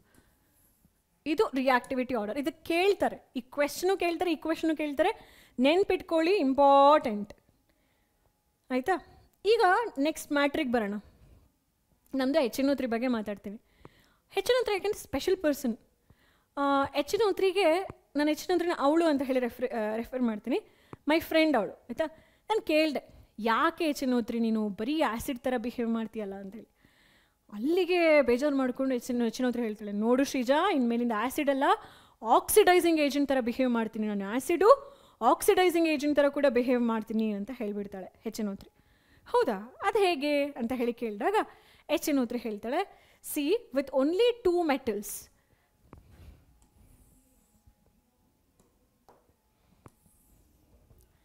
ಹೆಚ್ಚಿನ ತ್ರೀ ಬಂದಾಗ ಅದು ಡೈಲ್ಯೂಟ್ ವರ್ಷನ್ ಅಂದರೆ ಸ್ವಲ್ಪ ಕ್ವಾಂಟಿಟಿ ಆಫ್ ಹೆಚ್ಚಿನೋತ್ರಿ ಜೊತೆ ಹೆಚ್ಚಿನ ತ್ರೀ ರಿಯಾಕ್ಟ್ ಮಾಡುತ್ತೆ ನಮ್ಮ ಮೆಗ್ನೀಷಿಯಮ್ ಜೊತೆ. ನಮಗೆ ಏನು ಸಿಗುತ್ತೆ? ಮೆಗ್ನೀಷಿಯಮ್ ನೈಟ್ರೈಟ್ ಸಿಗುತ್ತೆ with the release of hydrogen gas ಅದೇ ಥರ three will also react with manganese so ಕೇಳ್ತಾರೆ ಮಕ್ಕಳೇ ಯಾವ ಎರಡು ಮೆಟಲ್ಸ್ ಜೊತೆ ಮಾತ್ರ ತ್ರೀ ನಮಗೆ ಈ ಹೈಡ್ರೋಜನ್ ಗ್ಯಾಸ್ ಕೊಡುತ್ತೆ ಅಂತ ಹೇಳಿ. So answer is magnesium manganese ನೀವು ತಗೊಳ್ಳುವಂಥ H N O three is dilute version ಆಯಿತಾ? ಮಿಕ್ಕಿದ ಯಾವುದೇ ಎಲಿಮೆಂಟ್ಸ್ಗಳು ಬಂದರೂ ಹತ್ರ ಹೇಳ್ತಾಳೆ, ನೋಡು, ನನಗೆ ಇನ್ನು ಆ್ಯಸಿಡ್ ಥರ ಬಿಹೇವ್ ಮಾಡೋಕ್ಕಾಗಲ್ಲ, ನನಗೆ ಹೈಡ್ರೋಜನ್ ಗ್ಯಾಸ್ನ ರಿಲೀಸ್ ಮಾಡೋಕ್ಕಾಗಲ್ಲ, ನಾನು ಆಕ್ಸಿಡೈಸಿಂಗ್ ಏಜೆಂಟ್ ಆಗ್ತೀನಿ. ಇದ್ರದ್ದು ಕಾಂಪ್ಲಿಕೇಟೆಡ್ ರಿಯಾಕ್ಷನ್ಸ್ ಎಲ್ಲ ನೀವು ಟೆಂತ್ನಲ್ಲಿ ಲೆವೆಂತ್ ಆ್ಯಂಡ್ ಟ್ವೆಲ್ತ್ನಲ್ಲಿ ಕರಿತೀನ? ಕಲಿತೀರಾ? ಇಲ್ಲಿ ಅಷ್ಟೊಂದು ಕಾಂಪ್ಲಿಕೇಶನ್ಸ್ ಬೇಕಾಗಿಲ್ಲ, ಅರ್ಥ ಮಾಡ್ಕೊಳ್ಬೇಕು ನೀವು. ಇಲ್ಲಿ ಆಕ್ಸಿಡೈಸಿಂಗ್ ಏಜೆಂಟ್ ಅಂತ ಹೇಳಿದರೆ ಏನು? ಹೆಚ್ಚಿನ ಓತ್ರಿ ಅಂತ ಹೇಳುವಂಥದ್ದು ನಮಗೆ ಫ್ರೆಶ್ ಇನ್ಸ್ಟೆಂಟ್ ಆಕ್ಸಿಜನ್ ಅದನ್ನ ನೇಸೆಂಟ್ ಆಕ್ಸಿಜನ್ ಅಥವಾ inborn oxygen in situ oxygen ಅಂತ ಕೂಡ ಕರಿತೀವಿ. ಅದನ್ನು ರಿಲೀಸ್ ಮಾಡುತ್ತೆ. ಇದು ಡಿಕಂಪೋಸ್ ಆಗಿ ಅದನ್ನು ರಿಲೀಸ್ ಮಾಡುತ್ತೆ. ಸೊ ಆ ಆಕ್ಸಿಜನ್ ಏನು ಮಾಡುತ್ತೆ? ಕಾಪರ್ ಆಗಿರಬಹುದು ಅಥವಾ ಜಿಂಕ್ ಆಗಿರಬಹುದು ಕಾಪರ್ ಆಗಿರಬಹುದು, ಇಂತಹ ಮೆಟಲ್ಸ್ಗಳು ಯಾವಾಗ ಹೆಚ್ಚಿನೋತ್ರಿ ಜೊತೆ ರಿಯಾಕ್ಟ್ ಮಾಡಿ, ಅವುಗಳು ಕೂಡ ಜಿಂಕ್ ನೈಟ್ರೇಟ್ ಎಲ್ಲ ಪ್ರೊಡ್ಯೂಸ್ ಮಾಡುತ್ತೆ. ಆಯಿತಾ? ಬಟ್ ಹೈಡ್ರೋಜನ್ ಗ್ಯಾಸ್ ಇನ್ನೇನು ರಿಲೀಸ್ ಆಗಬೇಕು ಅಂತ ಹೇಳೋ ಟೈಮ್ನಲ್ಲಿ ಈ ಆಕ್ಸಿಜನ್ ಬಂದು ಹೈಡ್ರೋಜನನ್ನು ಆಕ್ಸಿಡೈಸ್ ಮಾಡುತ್ತೆ. ಹೈಡ್ರೋಜನನ್ನು ಆಕ್ಸಿಡೈಸ್ ಮಾಡುತ್ತೆ ಅಂತ ಹೇಳಿದರೆ ಏನು? ಹೈಡ್ರೋಜನಿಗೆ ಆಕ್ಸಿಜನ್ ಆ್ಯಡ್ ಆಗುತ್ತೆ. ಸೊ ವಿತ್ ಅದರ್ ಮೆಟಲ್ಸ್ ಅಂದರೆ except magnesium manganese it could be zinc copper FE ಅಥವಾ ಲೆಡ್ ಯಾವುದೇ ಮೆಟಲ್ಸ್ ಆಗಲಿ ಹೆಚ್ಚಿನ ಏನು ಮಾಡುತ್ತೆ? ಒಂದು ಆಕ್ಸಿಜನ್ನ ಕೊಟ್ಬಿಟ್ಟು ಹೈಡ್ರೋಜನ್ ಗ್ಯಾಸ್ ರಿಲೀಸ್ ಆಗಲಿಕ್ಕೆ ಒಟ್ಟು ಬಿಡಲ್ಲ. ಆ ಹೈಡ್ರೋಜನ್ ಗ್ಯಾಸ್ನ ಆಕ್ಸಿಜನ್ ಜೊತೆ ಕಂಬೈನ್ ಮಾಡಿಕೊಂಡು ವಾಟರ್ ಆಗುತ್ತೆ. So it oxidises hydrogen it oxidises hydrogen to water and itself gets reduced ಅಂದರೆ ಈ ಹೆಚ್ಚಿನ ತ್ರೀ ಅದೇ ಫಾರ್ಮ್ನಲ್ಲಿ ಇರಲ್ಲ ಇವಾಗ. ಅದು ಮತ್ತೆ ವಾಪಸ್ ಬ್ರೇಕ್ ಆಗುತ್ತೆ. ಹೇಗೆ ಬ್ರೇಕ್ ಆಗುತ್ತೆ? ಹ ಹ ಹ ಹ ಅಂತ ಹೇಳಿ. ಅಂದರೆ ಲಾಫಿಂಗ್ ಗ್ಯಾಸ್ ಅಂತ ಹೇಳಿ ಒಂದು ಗ್ಯಾಸ್ ಫೇಮಸ್ ಇದೆ. ಯಾವುದದು? N two so H N O three N two O ಆಗಿ ಬ್ರೇಕ್ ಆಗುತ್ತೆ ನೈಟ್ರಿಕ್ ಆಕ್ಸೈಡ್ ಎನ್ ಒ ಆಗಿ ಬ್ರೇಕ್ ಆಗುತ್ತೆ nitrogen dioxide N O two ಆಗಿ ಬ್ರೇಕ್ ಆಗುತ್ತೆ. ಸೊ ಇದು ಹೆಚ್ ಎನ್ ಒ ತ್ರೀ ಆಗುವಂಥ ಒಂದು ಪದ್ಧತಿ. ಇಲ್ಲಿ ರಿಯಾಕ್ಷನ್ಸ್ ಯಾವುದು ಬೇಕಾಗಿಲ್ಲ. ಯಾವ ರಿಯಾಕ್ಷನ್ಸ್ ಕೂಡ ಬೇಕಾಗಿಲ್ಲ. Hydrogen oxidized to H2 gas is oxidized to water. HNO3 reduces to nitric oxide andre NO nitric oxide andre NO nitrogen dioxide andre N2O sorry NO2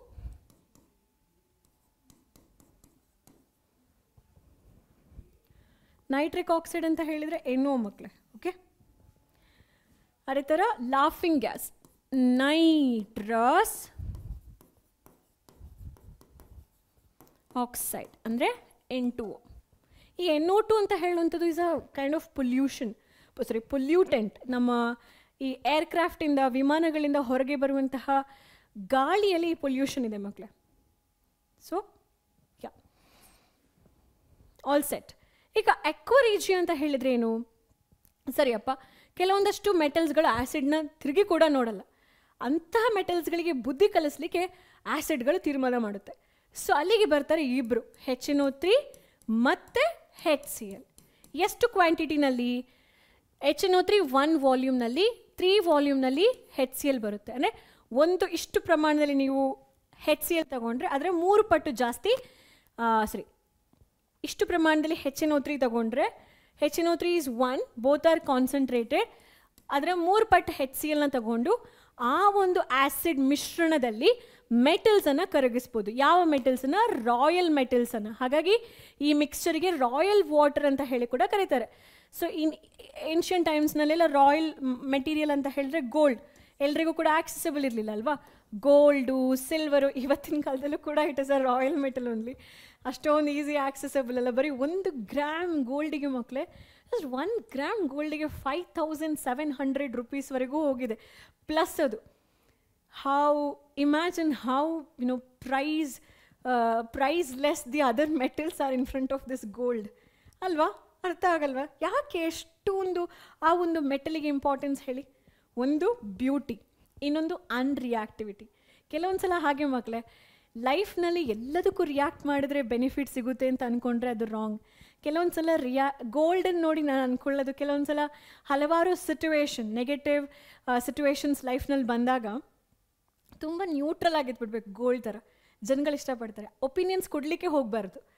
ಅದು ನಿಮಗೆ ಗೊತ್ತಿರುತ್ತೆ ರೈಟ್ ಯಾವುದು ರಾಂಗ್ ಯಾವುದು ಅಂತ ಹೇಳಿ. ಬಟ್ ಕೇಳಿದ್ರು ಕೂಡ ತುಂಬ ನ್ಯೂಟ್ರಲ್ ಆಗಿರಬೇಕು. So that will save you from lot of complicated situations ನೀವು ಎಸ್ ಹೇಳಿದರೂ ತಪ್ಪಾಗುತ್ತೆ ನೋ ಹೇಳಿದರೂ ತಪ್ಪಾಗುತ್ತೆ. So just be neutral yes point learn from gold all set so it is ಹಾಂ one of the reagent that can gold that can dissolve gold and platinum ಈ ಅಕ್ವರಿಜಿಯನ್ನ highly fuming liquid ಅಥವಾ highly corrosive liquid ಅಂತ ಹೇಳ್ತಾರೆ. So remember this can actually melt ಅಥವಾ dissolve melt ಅಲ್ಲ dissolve gold so we call it as royal water all set next displacement reaction ಇದು metal ಇದು third ನಾವು ಇವಾಗ ಎಷ್ಟು ಕಲ್ತ್ವಿ? ಮೆಟಲ್ ಹೇಗೆ ಆ್ಯಸಿಡ್ ಜೊತೆ ರಿಯಾಕ್ಟ್ ಸಾರಿ ಮೆಟಲ್ ಹೇಗೆ ಆಕ್ಸಿಜನ್ ಜೊತೆ ರಿಯಾಕ್ಟ್ ಆಗುತ್ತೆ? ವಾಟರ್ ಜೊತೆ ರಿಯಾಕ್ಟ್ ಆಗುತ್ತೆ. ಆ್ಯಸಿಡ್ ಜೊತೆ ರಿಯಾಕ್ಟ್ ಆಗುತ್ತೆ. ಮತ್ತು ಲಾಸ್ಟಿಗೆ ಮೆಟಲ್ ಸಾಲ್ಟ್ ಸೊಲ್ಯೂಷನ್ ಜೊತೆ, ನಾಲ್ಕನೇ ಕೆಮಿಕಲ್ ಪ್ರಾಪರ್ಟಿ ಕಲಿತಾ ಇದ್ದೀವಿ ಮಕ್ಕಳೇ ಸೊ ಎಕ್ಸಾಂಪಲ್ ಹೇಳ್ತೀನಿ, ಇದೇ ಡಯಾಗ್ರಾಮ್ ನೋಡ್ಕೊಳ್ಳಿ. ಇಲ್ಲಿ ಏನಾಯಿತು? ಇನಿಷಿಯಲಿ ನೋಡಿ ಮಕ್ಕಳೇ ಕಾಪರ್ ಸಲ್ಫೇಟ್ ಸೊಲ್ಯೂಷನಲ್ಲಿ ಐಯನ್ ನೇಲ್ನ ತೂಗು ಹಾಕ್ತಾರೆ. ಕಾಪರ್ ಸಲ್ಫೇಟಿಗೆ ಈ ಥರ ಬ್ಲೂ ಕಲರ್ ಇದಿರುತ್ತೆ. ಏನಿರುತ್ತೆ? ಬ್ಲೂ ಕಲರ್ ಸೊಲ್ಯೂಷನ್ ಕಲರ್ ಇರುತ್ತೆ. ಅಯನ್ ನೇಲ್ ಪಳಪಳ ಅಂತ ಹೇಳಿ ಸಿಲ್ವರಿಶ್, ತುಂಬ ತುಂಬ ಚೆನ್ನಾಗಿ ಸಿಲ್ವರಿಶ್ ಗ್ರೇನಲ್ಲಿ ಹೊಳಿತಾ ಇರುತ್ತೆ.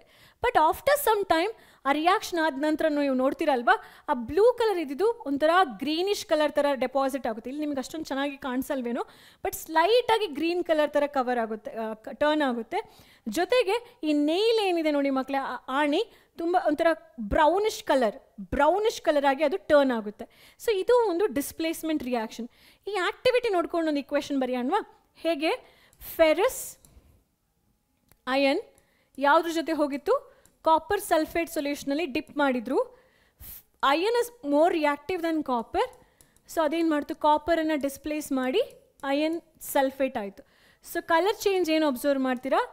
Blue colour changes to green colour blue colour changes to green colour so ಯಾವುದು ಯಾವುದನ್ನು ಡಿಸ್ಪ್ಲೇಸ್ ಮಾಡುತ್ತೆ ಅಂತ ಹೇಳಿ ಕೇಳೋದಕ್ಕೆ ವಿ ಹ್ಯಾವ್ ದಿಸ್ ಇಲ್ಲೇನು ಆ್ಯಕ್ಟಿವಿಟಿ ಸೀರೀಸ್ ಯಾರೆಲ್ಲ ಹೈಡ್ರೋಜನ್ ಮೇಲ್ಗಡೆ ರಿಯಾಕ್ಟ್ ಇರ್ತಾರೋ ಅವ್ರು ತುಂಬ ರಿಯಾಕ್ಟಿವ್ ಆಗಿರ್ತಾರೆ. ಹೈಡ್ರೋಜನ್ ಕೆಳಗಡೆ ಬರೋ ಮೆಟಲ್ಸ್ಗಳು ಅಷ್ಟೊಂದು ರಿಯಾಕ್ಟಿವ್ ಅಲ್ಲ. ಸೊ ನೆನ್ಪಿಟ್ಕೊಳ್ಳಿ potassium the first place metal ಮೇಲಿರುವ ಮೆಟಲ್ ಯಾವಾಗಲೂ ಹೈಲಿ ರಿಯಾಕ್ಟಿವ್ ಆಗಿರುತ್ತೆ ಅದು ಕೆಳಗಡೆ ಇರುವ ಯಾವುದೇ ಮೆಟಲ್ಸನ್ನು ಡಿಸ್ಪ್ಲೇ ಮಾಡ್ಬೋದು. ಬಟ್ ಕೆಳಗಡೆ ಇರುವಂತಹ ಮೆಟಲ್ ಫಾರ್ ಎಕ್ಸಾಂಪಲ್ ಕ್ಯಾಲ್ಶಿಯಂ ಇದು ಕೆಳಗಡೆ ಇದೆ. Compare to sodium and potassium ಅದರ ಪ್ಲೇಸ್ ಡೌನ್ ಇದೆ. ಈ ಕ್ಯಾಲ್ಶಿಯಂ ಈ ಪೊಟ್ಯಾಷಿಯಂ ಸೋಡಿಯಂನ ಡಿಸ್ಪ್ಲೇಸ್ ಮಾಡೋಕ್ಕೆ ಸಾಧ್ಯ ಇಲ್ಲ. ಸೊ ಮೆಟ್ ಇದನ್ನು ಡಿಕ್ರೀಸಿಂಗ್ ಆರ್ಡರ್ ಆಫ್ ರಿಯಾಕ್ಟಿವಿಟಿ ಅಂತ ಹೇಳಿ ಕರಿತೇವೆ. So metals which are arrange in the decreasing order of ರಿಯಾಕ್ಟಿವಿಟಿಯನ್ನೇ ಇಲ್ಲಿ ರಿಯಾಕ್ಟಿವಿಟಿ ಸೀರೀಸ್ ಅಂತ ಹೇಳಿ ಕರೆಯುವಂಥದ್ದು. ದ ಲೀಸ್ಟ್ ರಿಯಾಕ್ಟಿವ್ ಮೆಟಲ್ಸ್ ಯಾರು? ಗೋಲ್ಡು ಪ್ಲಾಟಿನಮ್ ಮತ್ತು ಸಿಲ್ವರ್ ಸೊ ನೆಕ್ಸ್ಟ್ ಬರೋಣ ಎಲೆಕ್ಟ್ರಾನ್ ಡಾಟ್ ಸ್ಟ್ರಕ್ಚರ್ ಈಗ ಒಂದು first part of the chapter ಮುಗೀತು. ಈ ಚಾಪ್ಟರ್ನ ಮೂರು ಪಾರ್ಟಲ್ಲಿ ನಾವು ಡಿವೈಡ್ ಮಾಡೋಣ. ಫಸ್ಟ್ ಪಾರ್ಟ್ ಅಂತ ಹೇಳುವಂಥದ್ದು ಫಿಸಿಕಲ್ ಆ್ಯಂಡ್ ಕೆಮಿಕಲ್ ಪ್ರಾಪರ್ಟೀಸ್ ಬಗ್ಗೆ ಮಾತಾಡುತ್ತೆ. ನೆಕ್ಸ್ಟ್ ನಾವು electron dot structure ionic compound formation ionic compound properties ಬಗ್ಗೆ ಮಾತಾಡ್ತೀವಿ. ನೆಕ್ಸ್ಟ್ ಇದಾದ ನಂತರ ವಿ ಟಾಕ್ ಅಬೌಟ್ ಯಾವುದು ಈ ಓರ್ ಎಕ್ಸ್ಟ್ರಾಕ್ಷನ್ ಬಗ್ಗೆ ಕೂಡ ಮಾತಾಡ್ತೀವಿ. ಇಲೆಕ್ಟ್ರಾನ್ ಡಾಟ್ ಸ್ಟ್ರಕ್ಚರ್ ಆಫ್ ಎಲಿಮೆಂಟ್ಸನ್ನು ಹೇಗೆ ಬರೆಯೋದು ಅಂತ ಹೇಳಿ ನೋಡೋಣ. ಫಾರ್ ಎಕ್ಸಾಂಪಲ್ ಈಗ ಸೋಡಿಯಂ ಕೊಟ್ಟಿದ್ದಾರೆ ಅಂತ ಹೇಳಿದ್ರೆ you should know about the atomic number of sodium ಹೌದಾ?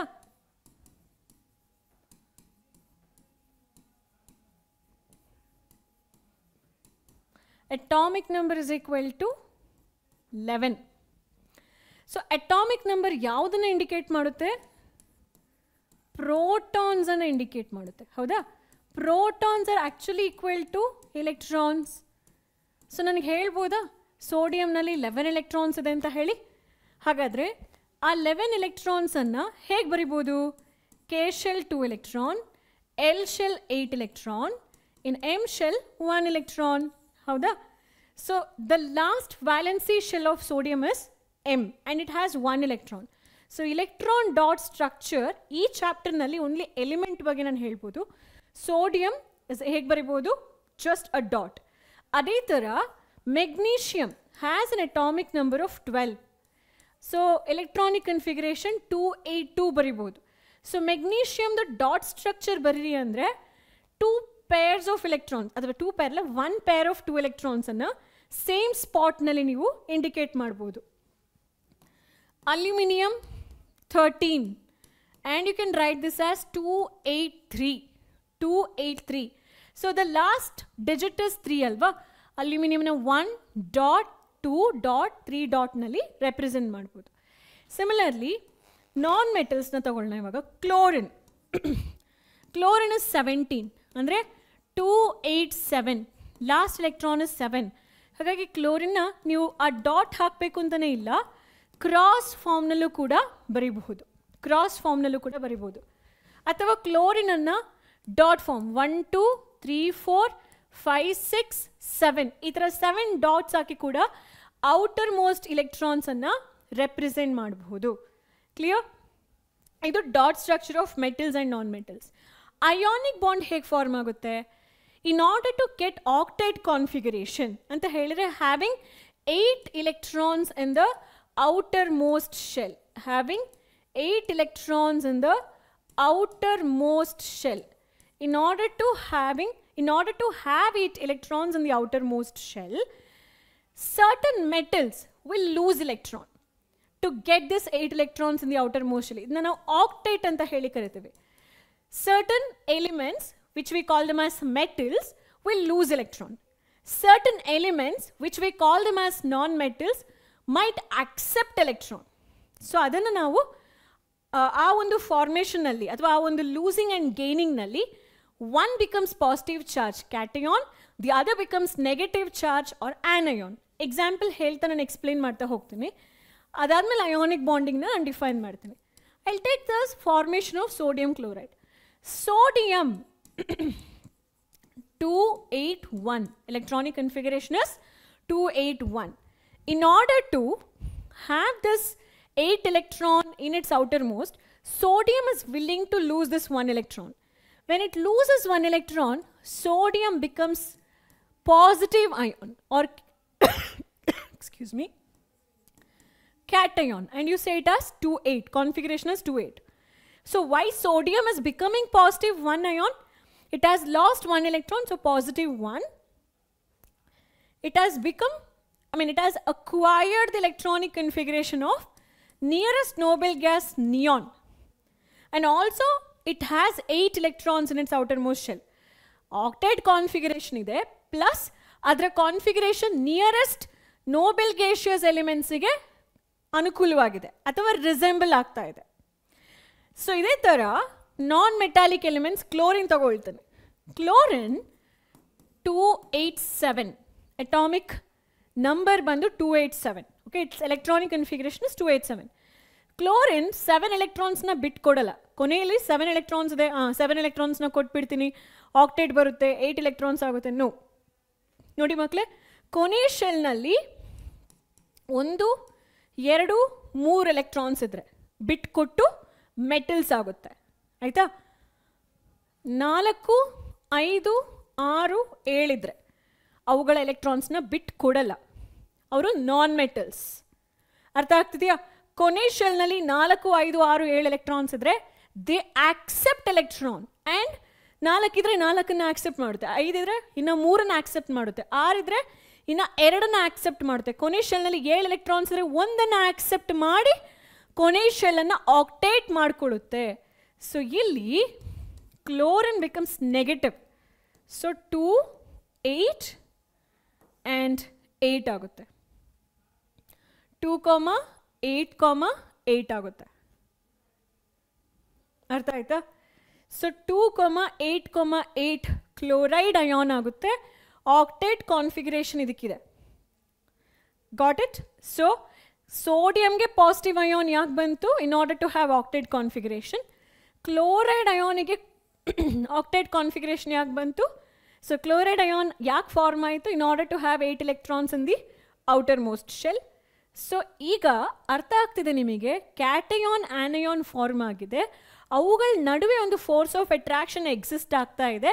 ಆ್ಯಂಡ್ ಆ ಫೋರ್ಸ್ ಬಿಟ್ವೀನ್ ಟು ಅಯಾನ್ಸ್ ಇರೋದ್ರಿಂದ ಅದನ್ನು ಅಯಾನಿಕ್ ಬಾಂಡಿಂಗ್ ಅಥವಾ ಇಲೆಕ್ಟ್ರೋ ವ್ಯಾಲೆಂಟ್ ಬಾಂಡಿಂಗ್ ಅಂತ ಹೇಳಿ ಕೇಳ್ತೀವಿ. ಇಲೆಕ್ಟ್ರೋ ವ್ಯಾಲೆಂಟ್ ಅಂತ ಹೇಳಿದರೆ ಅಯಾನ್ಸ್ ಆಗಲಿಕ್ಕೆ ಅವುಗಳು ಯಾವ ಥರದ ಒಂದು ಎಷ್ಟು ಎಲೆಕ್ಟ್ರಾನ್ಸ್ನ ಕಳ್ಕೊಂಡು ಇಲೆಕ್ಟ್ರೋಸ್ಟ್ಯಾಟಿಕ್ ಫೋರ್ಸ್ ಆಫ್ ಅಟ್ರಾಕ್ಷನ್ ಆಗಲಿಕ್ಕೆ ಎಷ್ಟು ಎಲೆಕ್ಟ್ರಾನ್ಸ್ನ ಕಳ್ಕೊಳ್ಳುತ್ತೆ, ಪಡ್ಕೊಳ್ಳುತ್ತೆ, ಅದೆಲ್ಲ ಆಗಿ ಒಂದು ಬಾಂಡ್ ಏನು ಕ್ರಿಯೇಟ್ ಆಗುತ್ತೆ? You call it as electrovalent bond ಅಥವಾ ionic bond so what is ionic bond complete transfer of valence electron from one atom to the other to achieve inert gas electronic configuration is called as ionic bond or electron, electrovalent bond. So ಅವುಗಳು ಈ helium ಥರ behave ಮಾಡಲಿಕ್ಕೆ try ಮಾಡುತ್ತೆ neon ಥರ try ಮಾಡುತ್ತೆ argon ಥರ behave ಮಾಡಲಿಕ್ಕೆ try ಮಾಡುತ್ತೆ ಸೊ ಯಾರೆಲ್ಲ ಎಲೆಕ್ಟ್ರಾನ್ಸ್ನ ಕೊಟ್ಕೊಳ್ಳುತ್ತೆ ಸಿ ಒನ್ ಇದ್ರೆ sodium two magnesium aluminium potassium caesium the tendency of forming cations are more here. Sodium will form a cation of Na plus. Magnesium will be 2 plus. Aluminium 3 plus. Potassium K plus. Calcium 2 plus. So, e metals will always tend to form cations by losing this so that next outermost will become completely stable with octet electrons. Non-metals such as nitrogen, oxygen, fluorine, phosphorus ಏನು ಮಾಡುತ್ತೆ outermost ಶೆಲ್ನಲ್ಲಿ ನಾವು ನೀವು count ಮಾಡಿ five six seven eight ಇದೆಯಲ್ವಾ ಈ eight ಇರುವಂಥದ್ದು ಹಾಗೆ ಇರುತ್ತೆ. ಬಟ್ ನೆಕ್ಸ್ಟ್ ಶೆಲ್ಲಿಗೆ ಹೋಗಿ ಅಲ್ಲೂ ಕೂಡ ಫೈವ್ ಸಿಕ್ಸ್ ಸೆವೆನ್ ಇದೆ ಅಲ್ವಾ? They try to complete their outermost with taking extra electron from somebody ಹಾಗಾಗಿ ನೈಟ್ರೋಜನ್ ನೋಡಿ ಫೈವ್ ಇದೆ. So it becomes nitrogen charges minus three because ಅದಕ್ಕೆ ಮೂರು ಎಲೆಕ್ಟ್ರಾನ್ಸ್ನ ಆ್ಯಡ್ ಮಾಡಿದ್ರೆ five becomes eight so how do you write nitrogen as anion N three minus oxygen ನೋಡಿ last number is six ಸಿಕ್ಸನ್ನು eight ಮಾಡಬೇಕು ಅಂದರೆ oxygen should get two more electrons ಇಲ್ಲಿ minus two ಆಯಿತು. Fluorine minus one phosphorus phosphorus ಕೆಲವೊಂದು ಸಲ ಎರಡೂ ಥರ ಬಿಹೇವ್ ಮಾಡುತ್ತೆ. ಪ್ಲಸ್ ಫೈವ್ ಥರನೂ ಮೈನಸ್ ತ್ರೀ ಥರನು ಇದು ಯಾಕೆ ಅಂತ ಹೈಯರ್ ಕ್ಲಾಸಸ್ನಲ್ಲಿ ನೀವು ಕಲಿತೀರಾ? Sulphur minus two chlorine minus one based on the last number of electrons you can judge what type of ions? Are they forming cation or are they forming anion? ಹೇಗೆ? Last ಶೆಲ್ನಲ್ಲಿ ಒಂದು, ಎರಡು, ಮೂರು electrons ಇದ್ದರೆ ಬಿಟ್ಕೊಡುತ್ತೆ metals ಆಗುತ್ತೆ. ಕೊನೆ ಶೆಲ್ನಲ್ಲಿ ನಾಲ್ಕು, ಐದು, ಆರು, ಏಳು ಎಂಟಿದ್ರೆ ಆಕ್ಸೆಪ್ಟ್ ಮಾಡುತ್ತೆ. ಬಟ್ ನಾಲ್ಕು ಅಂತ ಹೇಳುವಂಥದ್ದು ಸ್ಪೆಸಿಫಿಕಲಿ ಕಾರ್ಬನ್ ಬಗ್ಗೆ ಬಂದಾಗ ಶೇರ್ ಮಾಡುತ್ತೆ. So it's a different concept ಹಾಗಾಗಿ ನಾನು ನಿಮ್ಮ ಟೆಕ್ಸ್ಟ್ ಬುಕ್ನಲ್ಲಿ ನಾಲ್ಕಿಲ್ಲ ಅವರು.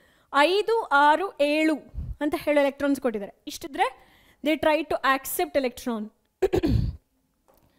ಅರ್ಥ ಆಯ್ತಾ? ದೇ ಫಾರ್ಮ್ ಏನು ಬಾಂಡಿಂಗ್ ಫಾರ್ಮ್ ಮಾಡ್ತಾರೆ ಅವರು? ಅಯಾನಿಕ್ ಬಾಂಡಿಂಗನ್ನು ಫಾರ್ಮ್ ಮಾಡ್ತಾ ಹೋಗ್ತಾರೆ. So let's focus about how magnesium oxide is formed how magnesium oxide is formed so in order to form the magnesium oxide first let's take magnesium ion. Now let's write the electronic configuration of magnesium 282. Correct? So magnesium will be losing two electrons. So it gets two positive charge and two electrons. Now what is the configuration? 2 comma 8. And oxide has oxygen. Let's write oxygen configuration 2 6 in order to acquire octet, 6 should become 8. It means oxygen should take 2 extra electron. So oxygen will receive the electrons given by magnesium and oxygen becomes anion O2 minus with the configuration 2 8. Now actual transfer of electron happens. Magnesium has the configuration of 282. I'll represent this 2 electron with 2 dots. Reacts with oxygen, which has the configuration of 2 6, where I would represent the configuration of valency electron in configuration of oxygen with the crosses, and I would transfer these electrons here. So now it becomes MgO, where magnesium has two positive, and I, I could write like this magnesium is a 2 positive, and oxygen has 2 electron given by magnesium, and rest of the 6 electron as it is with negative charge, nothing but magnesium oxide. So let's take one more example formation of sodium chloride, sorry, magnesium chloride.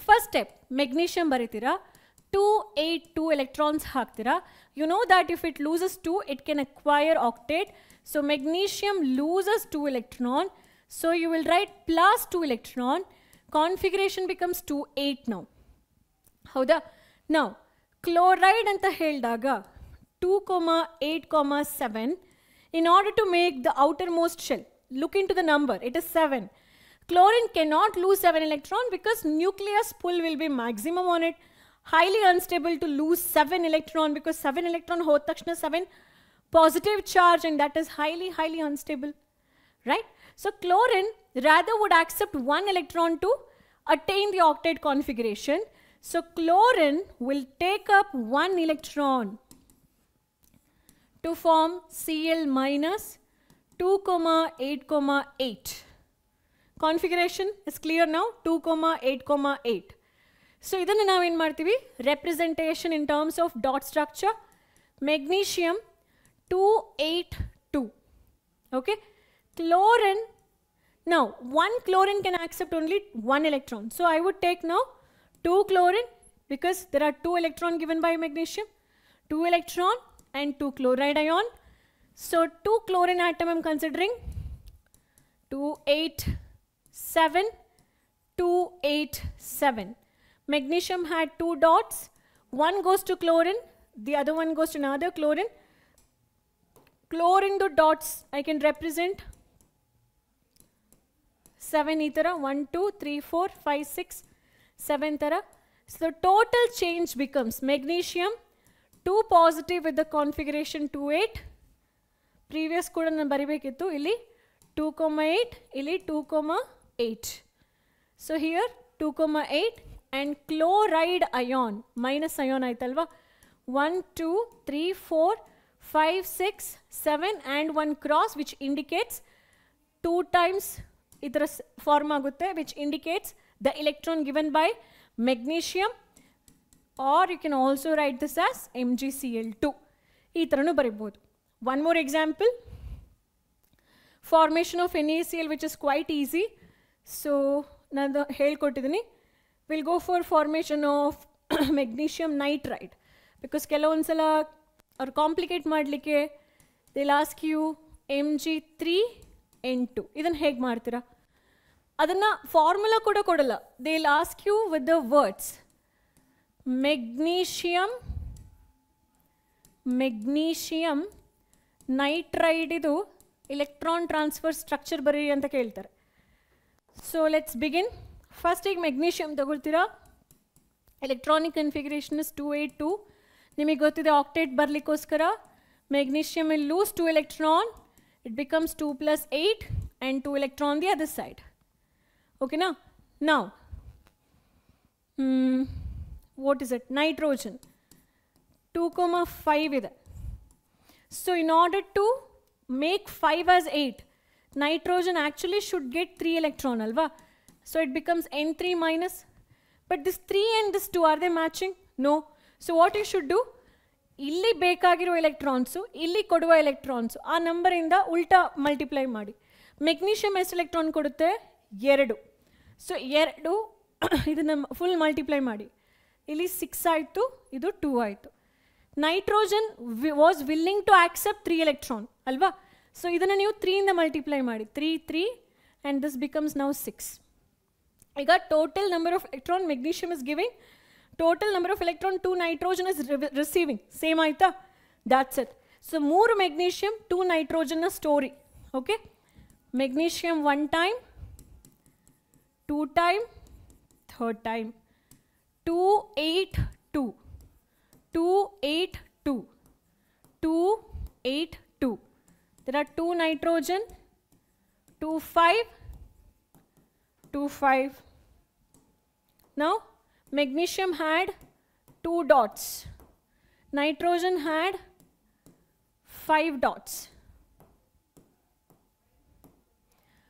One magnesium will be giving two electron, another magnesium's one electron. So three electrons ಒಂದು ನೈಟ್ರೋಜನಿಗೆ ಸಿಗುತ್ತೆ ಅದಕ್ಕೆ ಬೇಕಿದ್ದು ಕೂಡ ಐದನ್ನು ಎಂಟು ಮಾಡಲಿಕ್ಕೆ ಮೂರು electrons ಅದು ಒಂದು ಮೆಗ್ನೀಷಿಯಮ್ದು ತಗೊಳುತ್ತೆ ಇಲ್ಲೂ ಕೂಡ ಒಂದು ಎರಡು ಆ್ಯಂಡ್ ಮೂರು so both the nitrogen gets two magnesium gets Positive charges of two plus with the configuration two eight and three nitrogen with three negative charge dot dot ಎಷ್ಟು ಡಾಟ್ ಸಿಗಬೇಕು ಇವಾಗ ನೈಟ್ರೋಜನ್ ಸುತ್ತ ಎಂಟು ರೈಟ್ ಅದರಲ್ಲಿ ಮೂರು cross ಮಾಡಿಬಿಡ್ತಾನೆ indicating the electrons given by magnesium ಅರ್ಥ ಆಯ್ತಾ?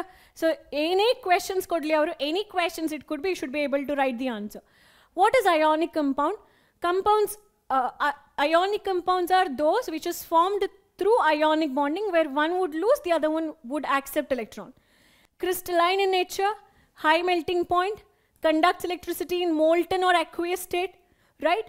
Next, usually soluble in water and also insoluble in organic solvent.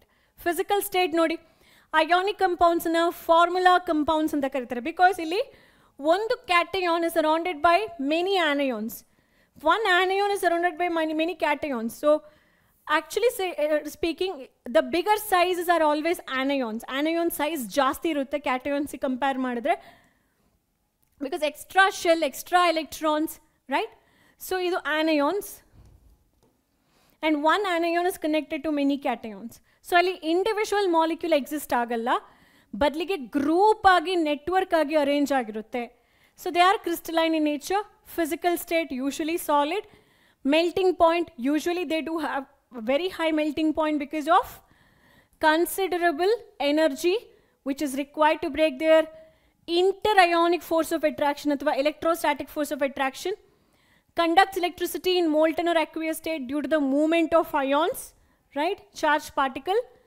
So this is the diagram which is very very important for 3 mark or 2 mark for state board and for CBSE board, they'll ask you value-based questions or applica- application-based questions on the same diagram. If you take salt solution, salt solution has, for example, Na plus. if I take sodium chloride, it has Na plus and Cl minus, right? And these ions will move on the opposite charges, conducting electricity.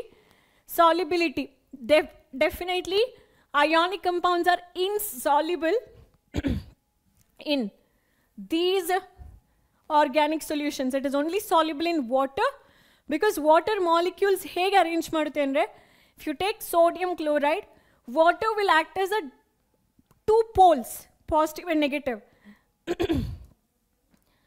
sodium ಜೊತೆ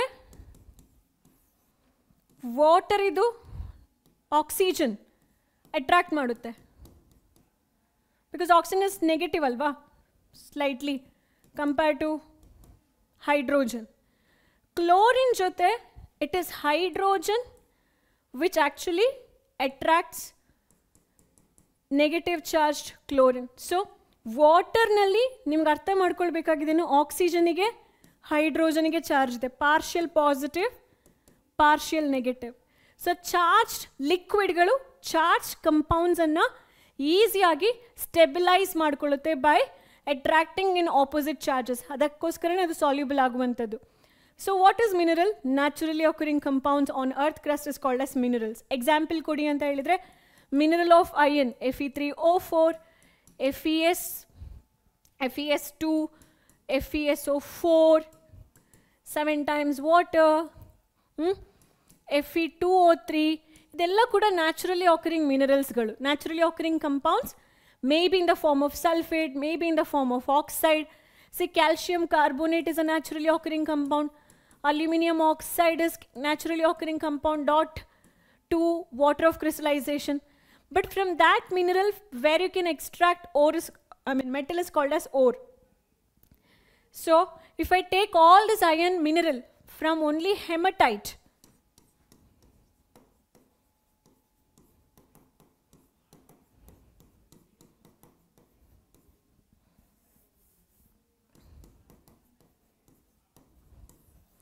I can extract iron. So, I can call this as ore. Got it? Occurrence of metal. Some metals are found in the earth crust in the free state.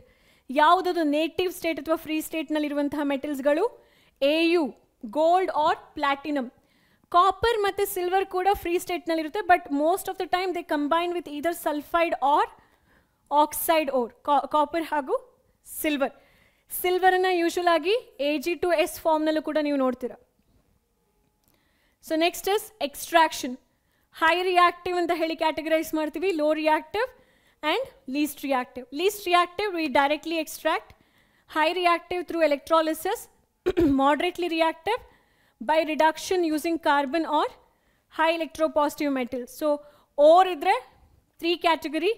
This is first category metals of high reactivity or first category I go here. Metals of low reactivity, copper ore iddaga, copper sulfide or copper oxide ore.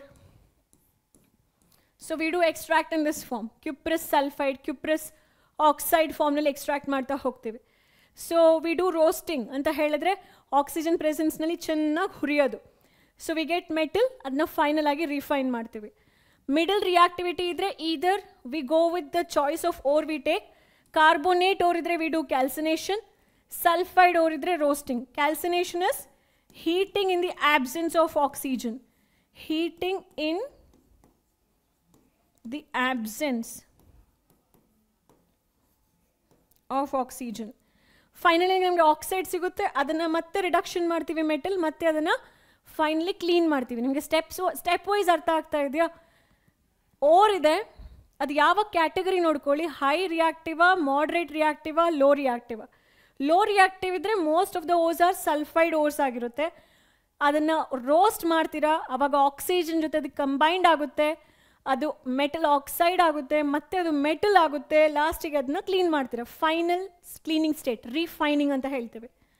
Suppose ಅದೇ ಓರನ್ನು middle reactivity set of ಎಲಿಮೆಂಟ್ಸ್ನ consider ಮಾಡ್ತೀರಾ ಅಂದರೆ zinc aluminium iron tin ಇವುಗಳು either in the form of oxide ಇರುತ್ತೆ A L two three direct water molecules ಅಥವಾ ಈ calcium carbonate ಈ ಥರ ಕಾರ್ಬೋನೇಟ್ ಫಾರ್ಮ್ನಲ್ಲಿರುತ್ತೆ ಅಥವಾ ಜಿಂಕ್ ಕಾರ್ಬೋನೇಟ್ ಫಾರ್ಮ್ನಲ್ಲಿರುತ್ತೆ ಕ್ಯಾಲ್ಶಿಯಂ ಇಸ್ ರಿಯಾಕ್ಟಿವ್ ಅಲ್ವಾ?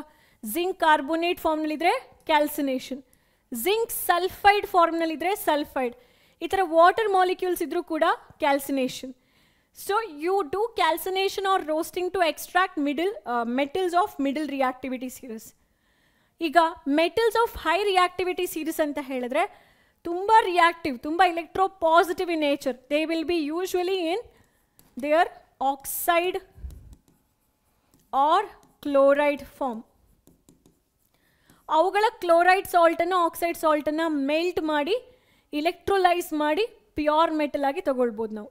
Okay electrolysis is for the for them so enrichment ಅಂತ ಹೇಳಿದ್ರೆ ಏನು removing all the impurities we call it as gangue ಅದನ್ನು ಎನ್ರಿಚ್ಮೆಂಟ್ ಆಫ್ ಓರ್ ಅಥವಾ ಡ್ರೆಸ್ಸಿಂಗ್ ಅಂತ ಹೇಳಿ ಕರಿತೀವಿ ಅಥವಾ ಕಾನ್ಸಂಟ್ರೇಷನ್ ಆಫ್ ಓರ್ ಅಂತ ಹೇಳಿ extraction of metal in low reactivity series silver sorry H G S mercury sulphide ಇದೆ ಸೊ ಸಲ್ಫೈಡ್ ಇದ್ದರೆ we first heat it in the presence of oxygen mercury oxide plus sulphur dioxide ಸಿಗುತ್ತೆ.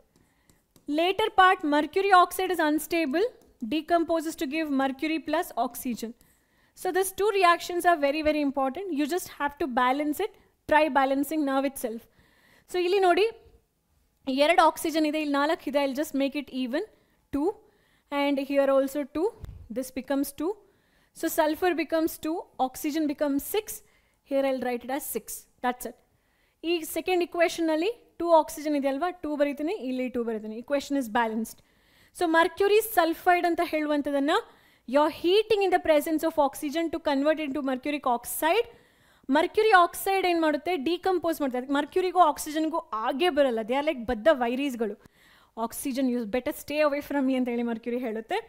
And that's how you get mercury okay next extracting mercury from cinnabar ಸಿನಬಾರ್ನಲ್ಲಿ cinnabar ಅಂತ ಹೇಳುವಂಥದ್ದು H G S ಇದು technical name ಆಗಿರುತ್ತೆ. So mercury ಆಕ್ಸೈಡನ್ನು ಹೇಗೆ reduce ಮಾಡ್ತೀರಾ ಅಂತ ಹೇಳಿ. ಕಾಪರ್ ಯಾವುದ್ರಲ್ಲಿ ಸಿಗುತ್ತೆ? ಸಿ ಯು ಟು ಎಸ್ ಅದನ್ನ ಚಾಲ್ಕೋಸೈಟ್ ಅಂತ ಹೇಳಿ ಕರಿತೀವಿ. ಇಲ್ಲೂ ಕೂಡ ಸಿ ಯು ಟು ಎಸ್ ಅನ್ನು ಯೋ heating in the presence of oxygen ಫಿಯು C U two S will change into C U two O ಆಮೇಲೆ ಎಸ್ ಒ ಟು ಆಗುತ್ತೆ. ಆಯಿತಾ? ಫಿಯು ಸಿ ಯು ಟು ಎಸ್ ಏನಾಯಿತು? ಓ ಟು ಆಗಿ ಚೇಂಜ್ ಆಯಿತು C U two S O two ಆಯಿತು. ಮಿಕ್ಕಿದ C U two S ಹಾಗೆ ಇರುತ್ತೆ.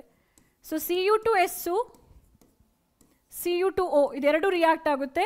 You get just C U plus S O two so ಇದು ರಿಯಾಕ್ಷನ್ ಬ್ಯಾಲೆನ್ಸ್ ಆಗಬೇಕಲ್ವಾ? ಹಾಗಾಗಿ C U two S C U two O ನಮಗೆ C U ಮತ್ತು S O two ಆಗಿ ಫಾರ್ಮ್ ಆಗುತ್ತೆ. ನೀವು ಬ್ಯಾಲೆನ್ಸ್ ಮಾಡ್ಲಿಕ್ಕೆ ಹೊರಟಿದ್ದೀರಾ ಅಂದರೆ ಫಸ್ಟ್ ಈಕ್ವೇಷನ್ ನೋಡ್ಕೊಳ್ಳಿ. ದೇರ್ ಆರ್ ಟೂ ಕಾಪರ್ ಇಲ್ಲೂ ಕೂಡ ಟೂ ಕಾಪರ್ ಇದೆ.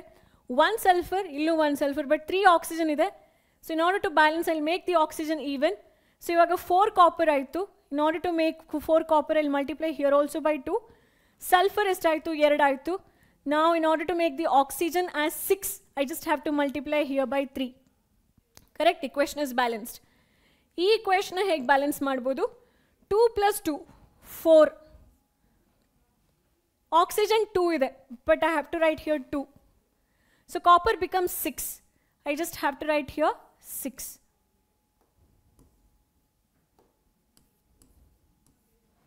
six so this is how you extract copper from chalcocite ಇದನ್ನು ಆಟೋ ರಿಡಕ್ಷನ್ ಅಂತ ಹೇಳಿ ಕರಿತೀವಿ ಆಟೋ ರಿಡಕ್ಷನ್ ಮತ್ತು ಈ ಕಾಪರನ್ನು ಬ್ಲಿಸ್ಟರ್ ಕಾಪರ್ ಅಂತ ಹೇಳ್ತೀವಿ ಬ್ಲಿಸ್ಟರ್ ಕಾಪರ್ ಅಂದರೆ ಅದು ಸಾಲಿಡಿಫೈ ಆಗಬೇಕಾದ್ರೆ ಬ್ಲಿಸ್ಟರ್ಸ್ನ ನೀವು ನೋಡ್ತೀರಾ just like how you get blister when you your hand gets burn here also you can see some blisters ಅಂದರೆ ಒಂಥರ ಪಾಪಪ್ ಥರ ಆಗುವಂಥದ್ದು, ಹೊರಗಡೆ ಬರುತ್ತೆ, ಉಬ್ಕೊಳ್ಳುತ್ತೆ. Because of the release of S O two gas and this blister copper is ninety nine percentage pure ಅಂತ ಹೇಳ್ತಾರೆ. ಮಿಕ್ಕಿದ one percentage ಪ್ಯೂರಿಟಿಗೋಸ್ಕರ ಅದನ್ನ ಇಲೆಕ್ಟ್ರೋಲೈಸ್ ಮಾಡಿ ರಿಫೈನ್ ಮಾಡ್ತಾರೆ. Next electrolysis I mean extracting metals in the middle reactivity series roasting for example zinc sulphide ಇದ್ರೆ you heat in the presence of oxygen so sulphide ore changes into oxide ore with some volatile impurities such as SO2, SO2 in the form of gas, converting sulfide ore to oxide ore. ಅದನ್ನೇ roasting ಅಂತ ಹೇಳುವಂಥದ್ದು YouTube roasting ಅಲ್ಲ ಇದು ore roasting okay next calcination carbonate zinc Z N C O three decomposes to Z N O plus carbon dioxide ಇದನ್ನು calcination ಅಂತ ಹೇಳಿ ಕರಿತೀವಿ. Zinc ಕಾರ್ಬೋನೇಟನ್ನು ಜಿಂಕ್ ಆಕ್ಸೈಡ್ ಮತ್ತು ಕಾರ್ಬನ್ ಡೈಆಕ್ಸೈಡ್ ಇಲ್ಲಿ you are heating only the ore you do not heat in the presence of oxygen only the ore you are heating and that decomposes not only for carbonate even for hydrate for example A L two O three two times water ಇದು bauxite ore you are heating so that water molecule will evaporate so this is bauxite ore ore of aluminium ಇದು ಚಾಲ್ಕೋಸೈಟ್ ಅಂತ ಹೇಳ್ತಾರೆ ಯಾವುದಕ್ಕೆ ದಲ್ಲ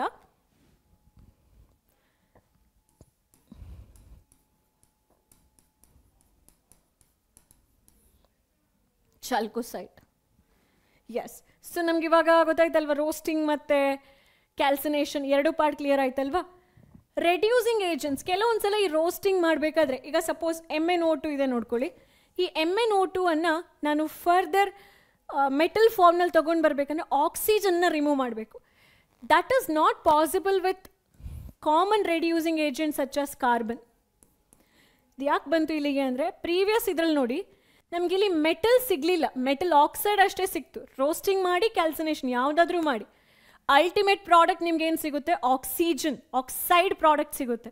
ನಿಮಗೇನು ಬೇಕು? Metal ಬೇಕು. Because you are extracting metals. ಹೌದಾ? So ಅದು ಬೇಕಂದರೆ you have to remove oxygen. ಅದಕ್ಕೆ ಒಂದು ಮಿಡಲ್ ಮ್ಯಾನ್ನ ತೊಗೊಂಡು ಬರ್ತಾರೆ. And that is carbon. So carbon ಏನು ಮಾಡುತ್ತೆ? ಆಕ್ಸಿಜನ್ನ ಪಿಕಪ್ ಮಾಡುತ್ತೆ. You get finally a metal and then you send the metal metal refining. So carbon monoxide will will evolve, I mean evaporate outside as a byproduct.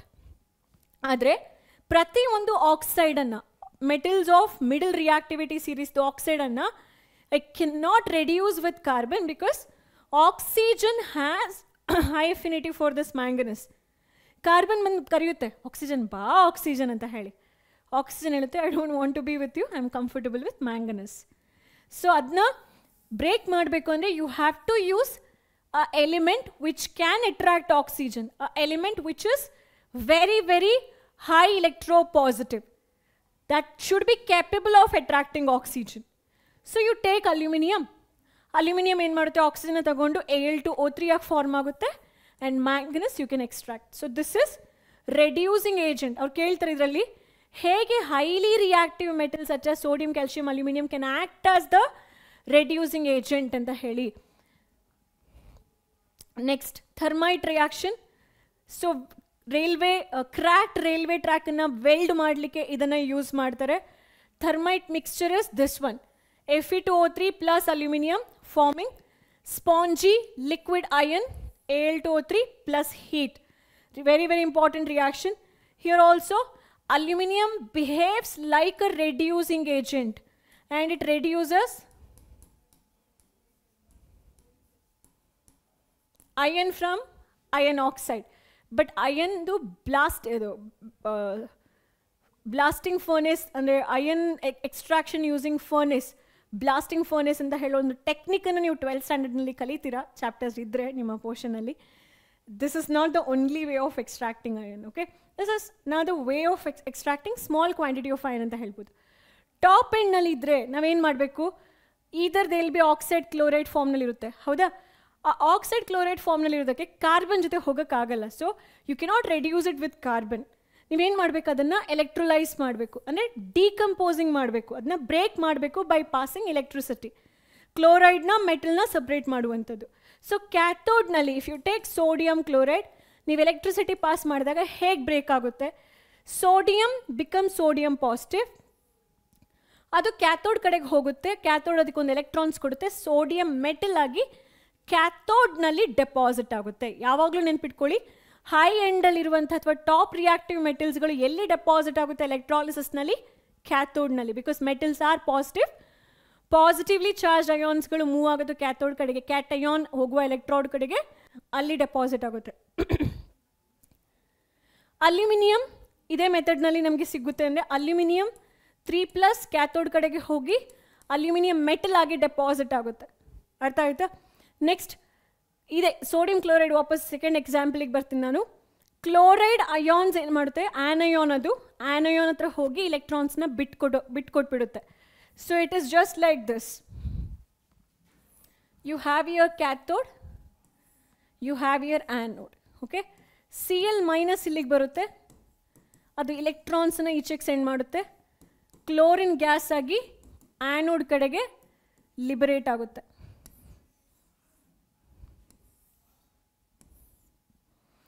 ಇಲ್ಲಿ electrons ಬರುತ್ತೆ and cation ಅಲ್ವಾ? Sodium ion ಆಗಿ ಕ್ಯಾಟಯೋನ ತಗೊಂಡು ಬಂದು sodium metal ಆಗಿ ಇಲ್ಲಿ deposit ಆಗುತ್ತೆ. So cathode ಕಡೆಗೆ ಮೆಟಲ್ ಡೆಪಾಸಿಷನ್ನ ನೋಡ್ತೀರಾ? ಆ್ಯನೋಡ್ ಕಡೆಗೆ ಗ್ಯಾಸ್ ರಿಲೀಸ್ ಆಗೋದು. ಕ್ಲೋರಿನ್ ಗ್ಯಾಸ್ ಅಥವಾ ಆಕ್ಸಿಜನ್ ಗ್ಯಾಸ್ ರಿಲೀಸ್ ಆಗೋದನ್ನು ನೋಡ್ತಾ ಹೋಗ್ತೀರಾ. ಸೊ ಕ್ಲಿಯರ್ ಇದು ಇಕ್ವೇಶನ್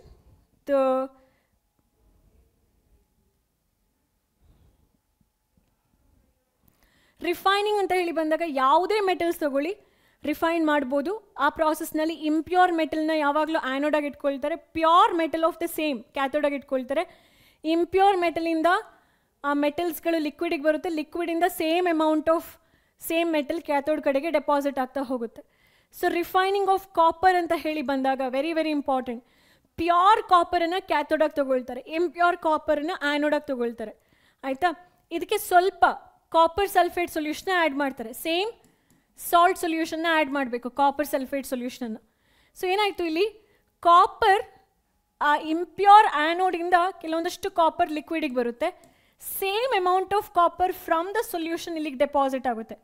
ಇಲ್ಲಿಂದ ಎಷ್ಟು ಕೆಳಗಡೆಗೆ ಬರುತ್ತೋ ಸೇಮ್ ಡೆಪಾಸಿಟ್ ಆಗ್ತಾ ಹೋಗುತ್ತೆ. At the end you see that anode thickness ತುಂಬ ಕಡಿಮೆ ಆಗ್ತಾ ಬರುತ್ತೆ. ಕ್ಯಾಥೋಡ್ ಥಿಕ್ನೆಸ್ ಜಾಸ್ತಿ ಆಗ್ತಾ ಬರುತ್ತೆ. ಕ್ವೆಶನ್ ಕೂಡ ಕೇಳ್ತಾರೆ.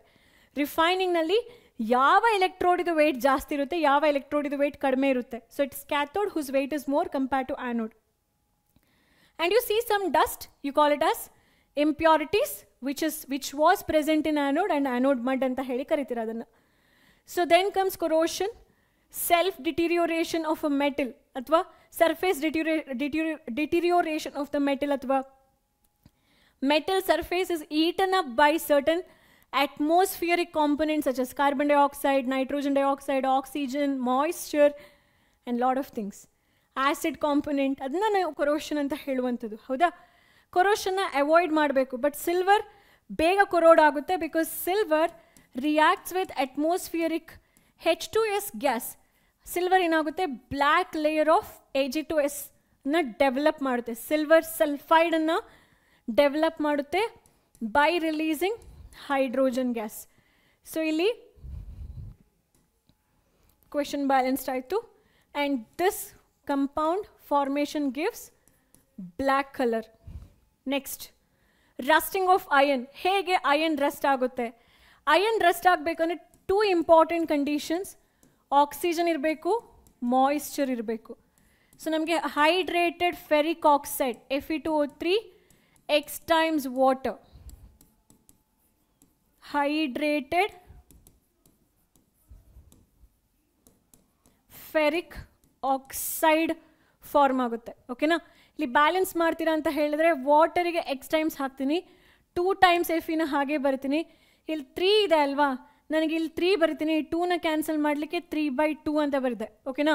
ಸೊ ಟೂ ಮತ್ತು ಈ ಟೂ ಎರಡು ಕ್ಯಾನ್ಸಲ್ ಆಗುತ್ತೆ, ಮೂರು ಆಕ್ಸಿಜನ್ ಈ ಪ್ರಾಡಕ್ಟ್ ಸೈಡ್ನಲ್ಲಿ ಇಲ್ಲೂ ಆಕ್ಸಿಜನ್ ಇದು ವೇರಿಯಂಟ್ ಎಕ್ಸ್ ಟೈಮ್ಸ್ ಸೊ ಇಲ್ಲಿ ಎಕ್ಸ್ ಟೈಮ್ಸ್ ಅಂತಲೇ ಬರ್ತಿದ್ದೀನಿ hydrated ferric oxide is the rust. ಇದನ್ನೇ ನಾವು ರಸ್ಟ್ ಅಂತ ಹೇಳಿ ಕರೆಯುವಂಥದ್ದು. ನೀವು ನೋಡಿರ್ಬೋದು ಬ್ರೌನಿಷ್ ಕಲರ್ ಇರುತ್ತೆ ಅದಕ್ಕೆ. ಕಾಪರ್ಗೆ ಗ್ರೀನಿಷ್ ಕಲರ್ ಡೆಪಾಸಿಷನ್ ಇರುತ್ತೆ. So copper reacts with water, carbon dioxide, oxygen to form basic copper carbonate which develops green coat, green layer so ಇದನ್ನ ರಿಮೂವ್ ಮಾಡಬೇಕಂತ ಹೇಳಿದ್ರೆ you have to wash because all this components are basic in nature you have to wash it with an acid ಯೂಶ್ವಲಾಗಿ tamarind ಆ್ಯಸಿಡ್ನ ಇಟ್ಕೊಂಡು ಈ ಕೊರೋಷನಲ್ಲಿ greenish colour ಲೇಯರ್ನ remove ಮಾಡ್ತಾ ಹೋಗ್ತಾರೆ because tamarind contains tartaric acid that would react with the base salt here ಇದು base in nature ಅಲ್ವಾ? Acid base neutralisation ಆದಾಗ you get water and salt that salt is water soluble next ಬರುತ್ತೆ prevention ಹೇಗೆ ಮಾಡ್ತೀರಾ?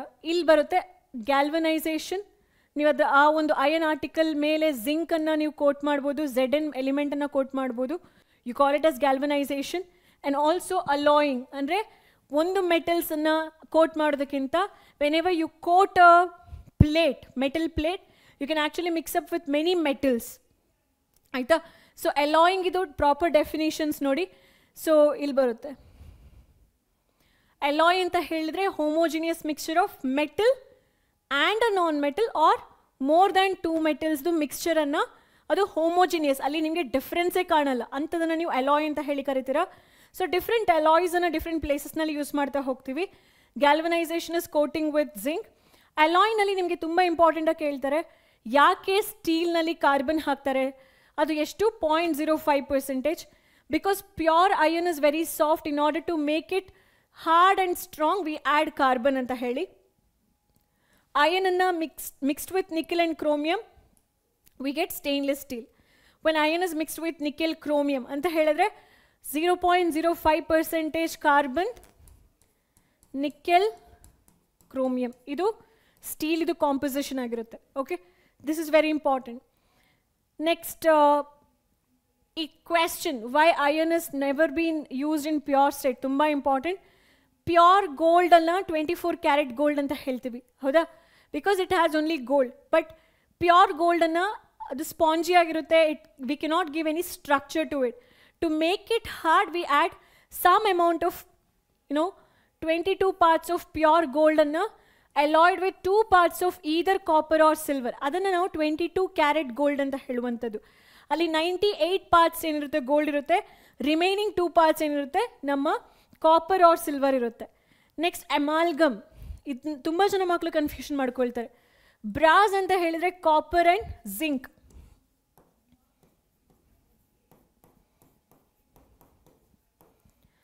so bronze ಅಂತ ಹೇಳಿದ್ರೆ copper and tin bronze has N in it so ಆ ಥರ ನೆನ್ಪಿಟ್ಕೊಳ್ಳಿ. ಕಾಪರ್ ಆ್ಯಂಡ್ ಟಿನ್ ಬಟ್ ಜಿಂಕಲ್ಲೂ ಕೂಡ ಏನಿದೆ, ಹಾಗಾಗಿ ಕನ್ಫ್ಯೂಷನ್ ಆಗೋದು ಬೇಡ ನಿಮಗೆ. So bronze is seventy percentage copper and thirty percentage tin brass is ninety percentage copper and ten percentage zinc so ಈ combinations are called as alloyed ಇದನ್ನು ನಾವು ಬೇರೆ ಬೇರೆ ಪರ್ಪಸ್ಗೆ ಯೂಸ್ ಮಾಡ್ತಾ ಹೋಗ್ತೀವಿ. ಲೈಕ್ ಬ್ರಾನ್ಸ್ ಅನ್ನ an alloy of copper and tin are not good conductors of electricity versus ಕಾಪರನ್ನು ನಾವು ಯೂಶ್ವಲ್ ಆಗಿ ಎಲೆಕ್ಟ್ರಿಕಲ್ ಸರ್ಕ್ಯೂಟಿಗೆ ಹಾಕ್ತಾ ಹೋಗ್ತೀವಿ. So if you if you want a non conducting material then you can alloy the copper ಅಂತ ಹೇಳ್ಕೊಂಡು ಓಕೆನಾ solder the alloy of P B and tin ಅದನ್ನ electrical ವಯರ್ಸನ್ನು ಫ್ಯೂಸ್ ಮಾಡಲಿಕ್ಕೆ ಯೂಸ್ ಮಾಡ್ತಾ ಹೋಗ್ತೀವಿ. ಸೊ ಥ್ಯಾಂಕ್ ಯು ಹೇಳೋಕ್ಕಿಂತ ಮುಂಚೆ there was one slide which I kept pending ನಾನು ಎಕ್ಸ್ಪ್ಲೇನ್ ಮಾಡಿರಲಿಲ್ಲ ನಿಮಗೆ.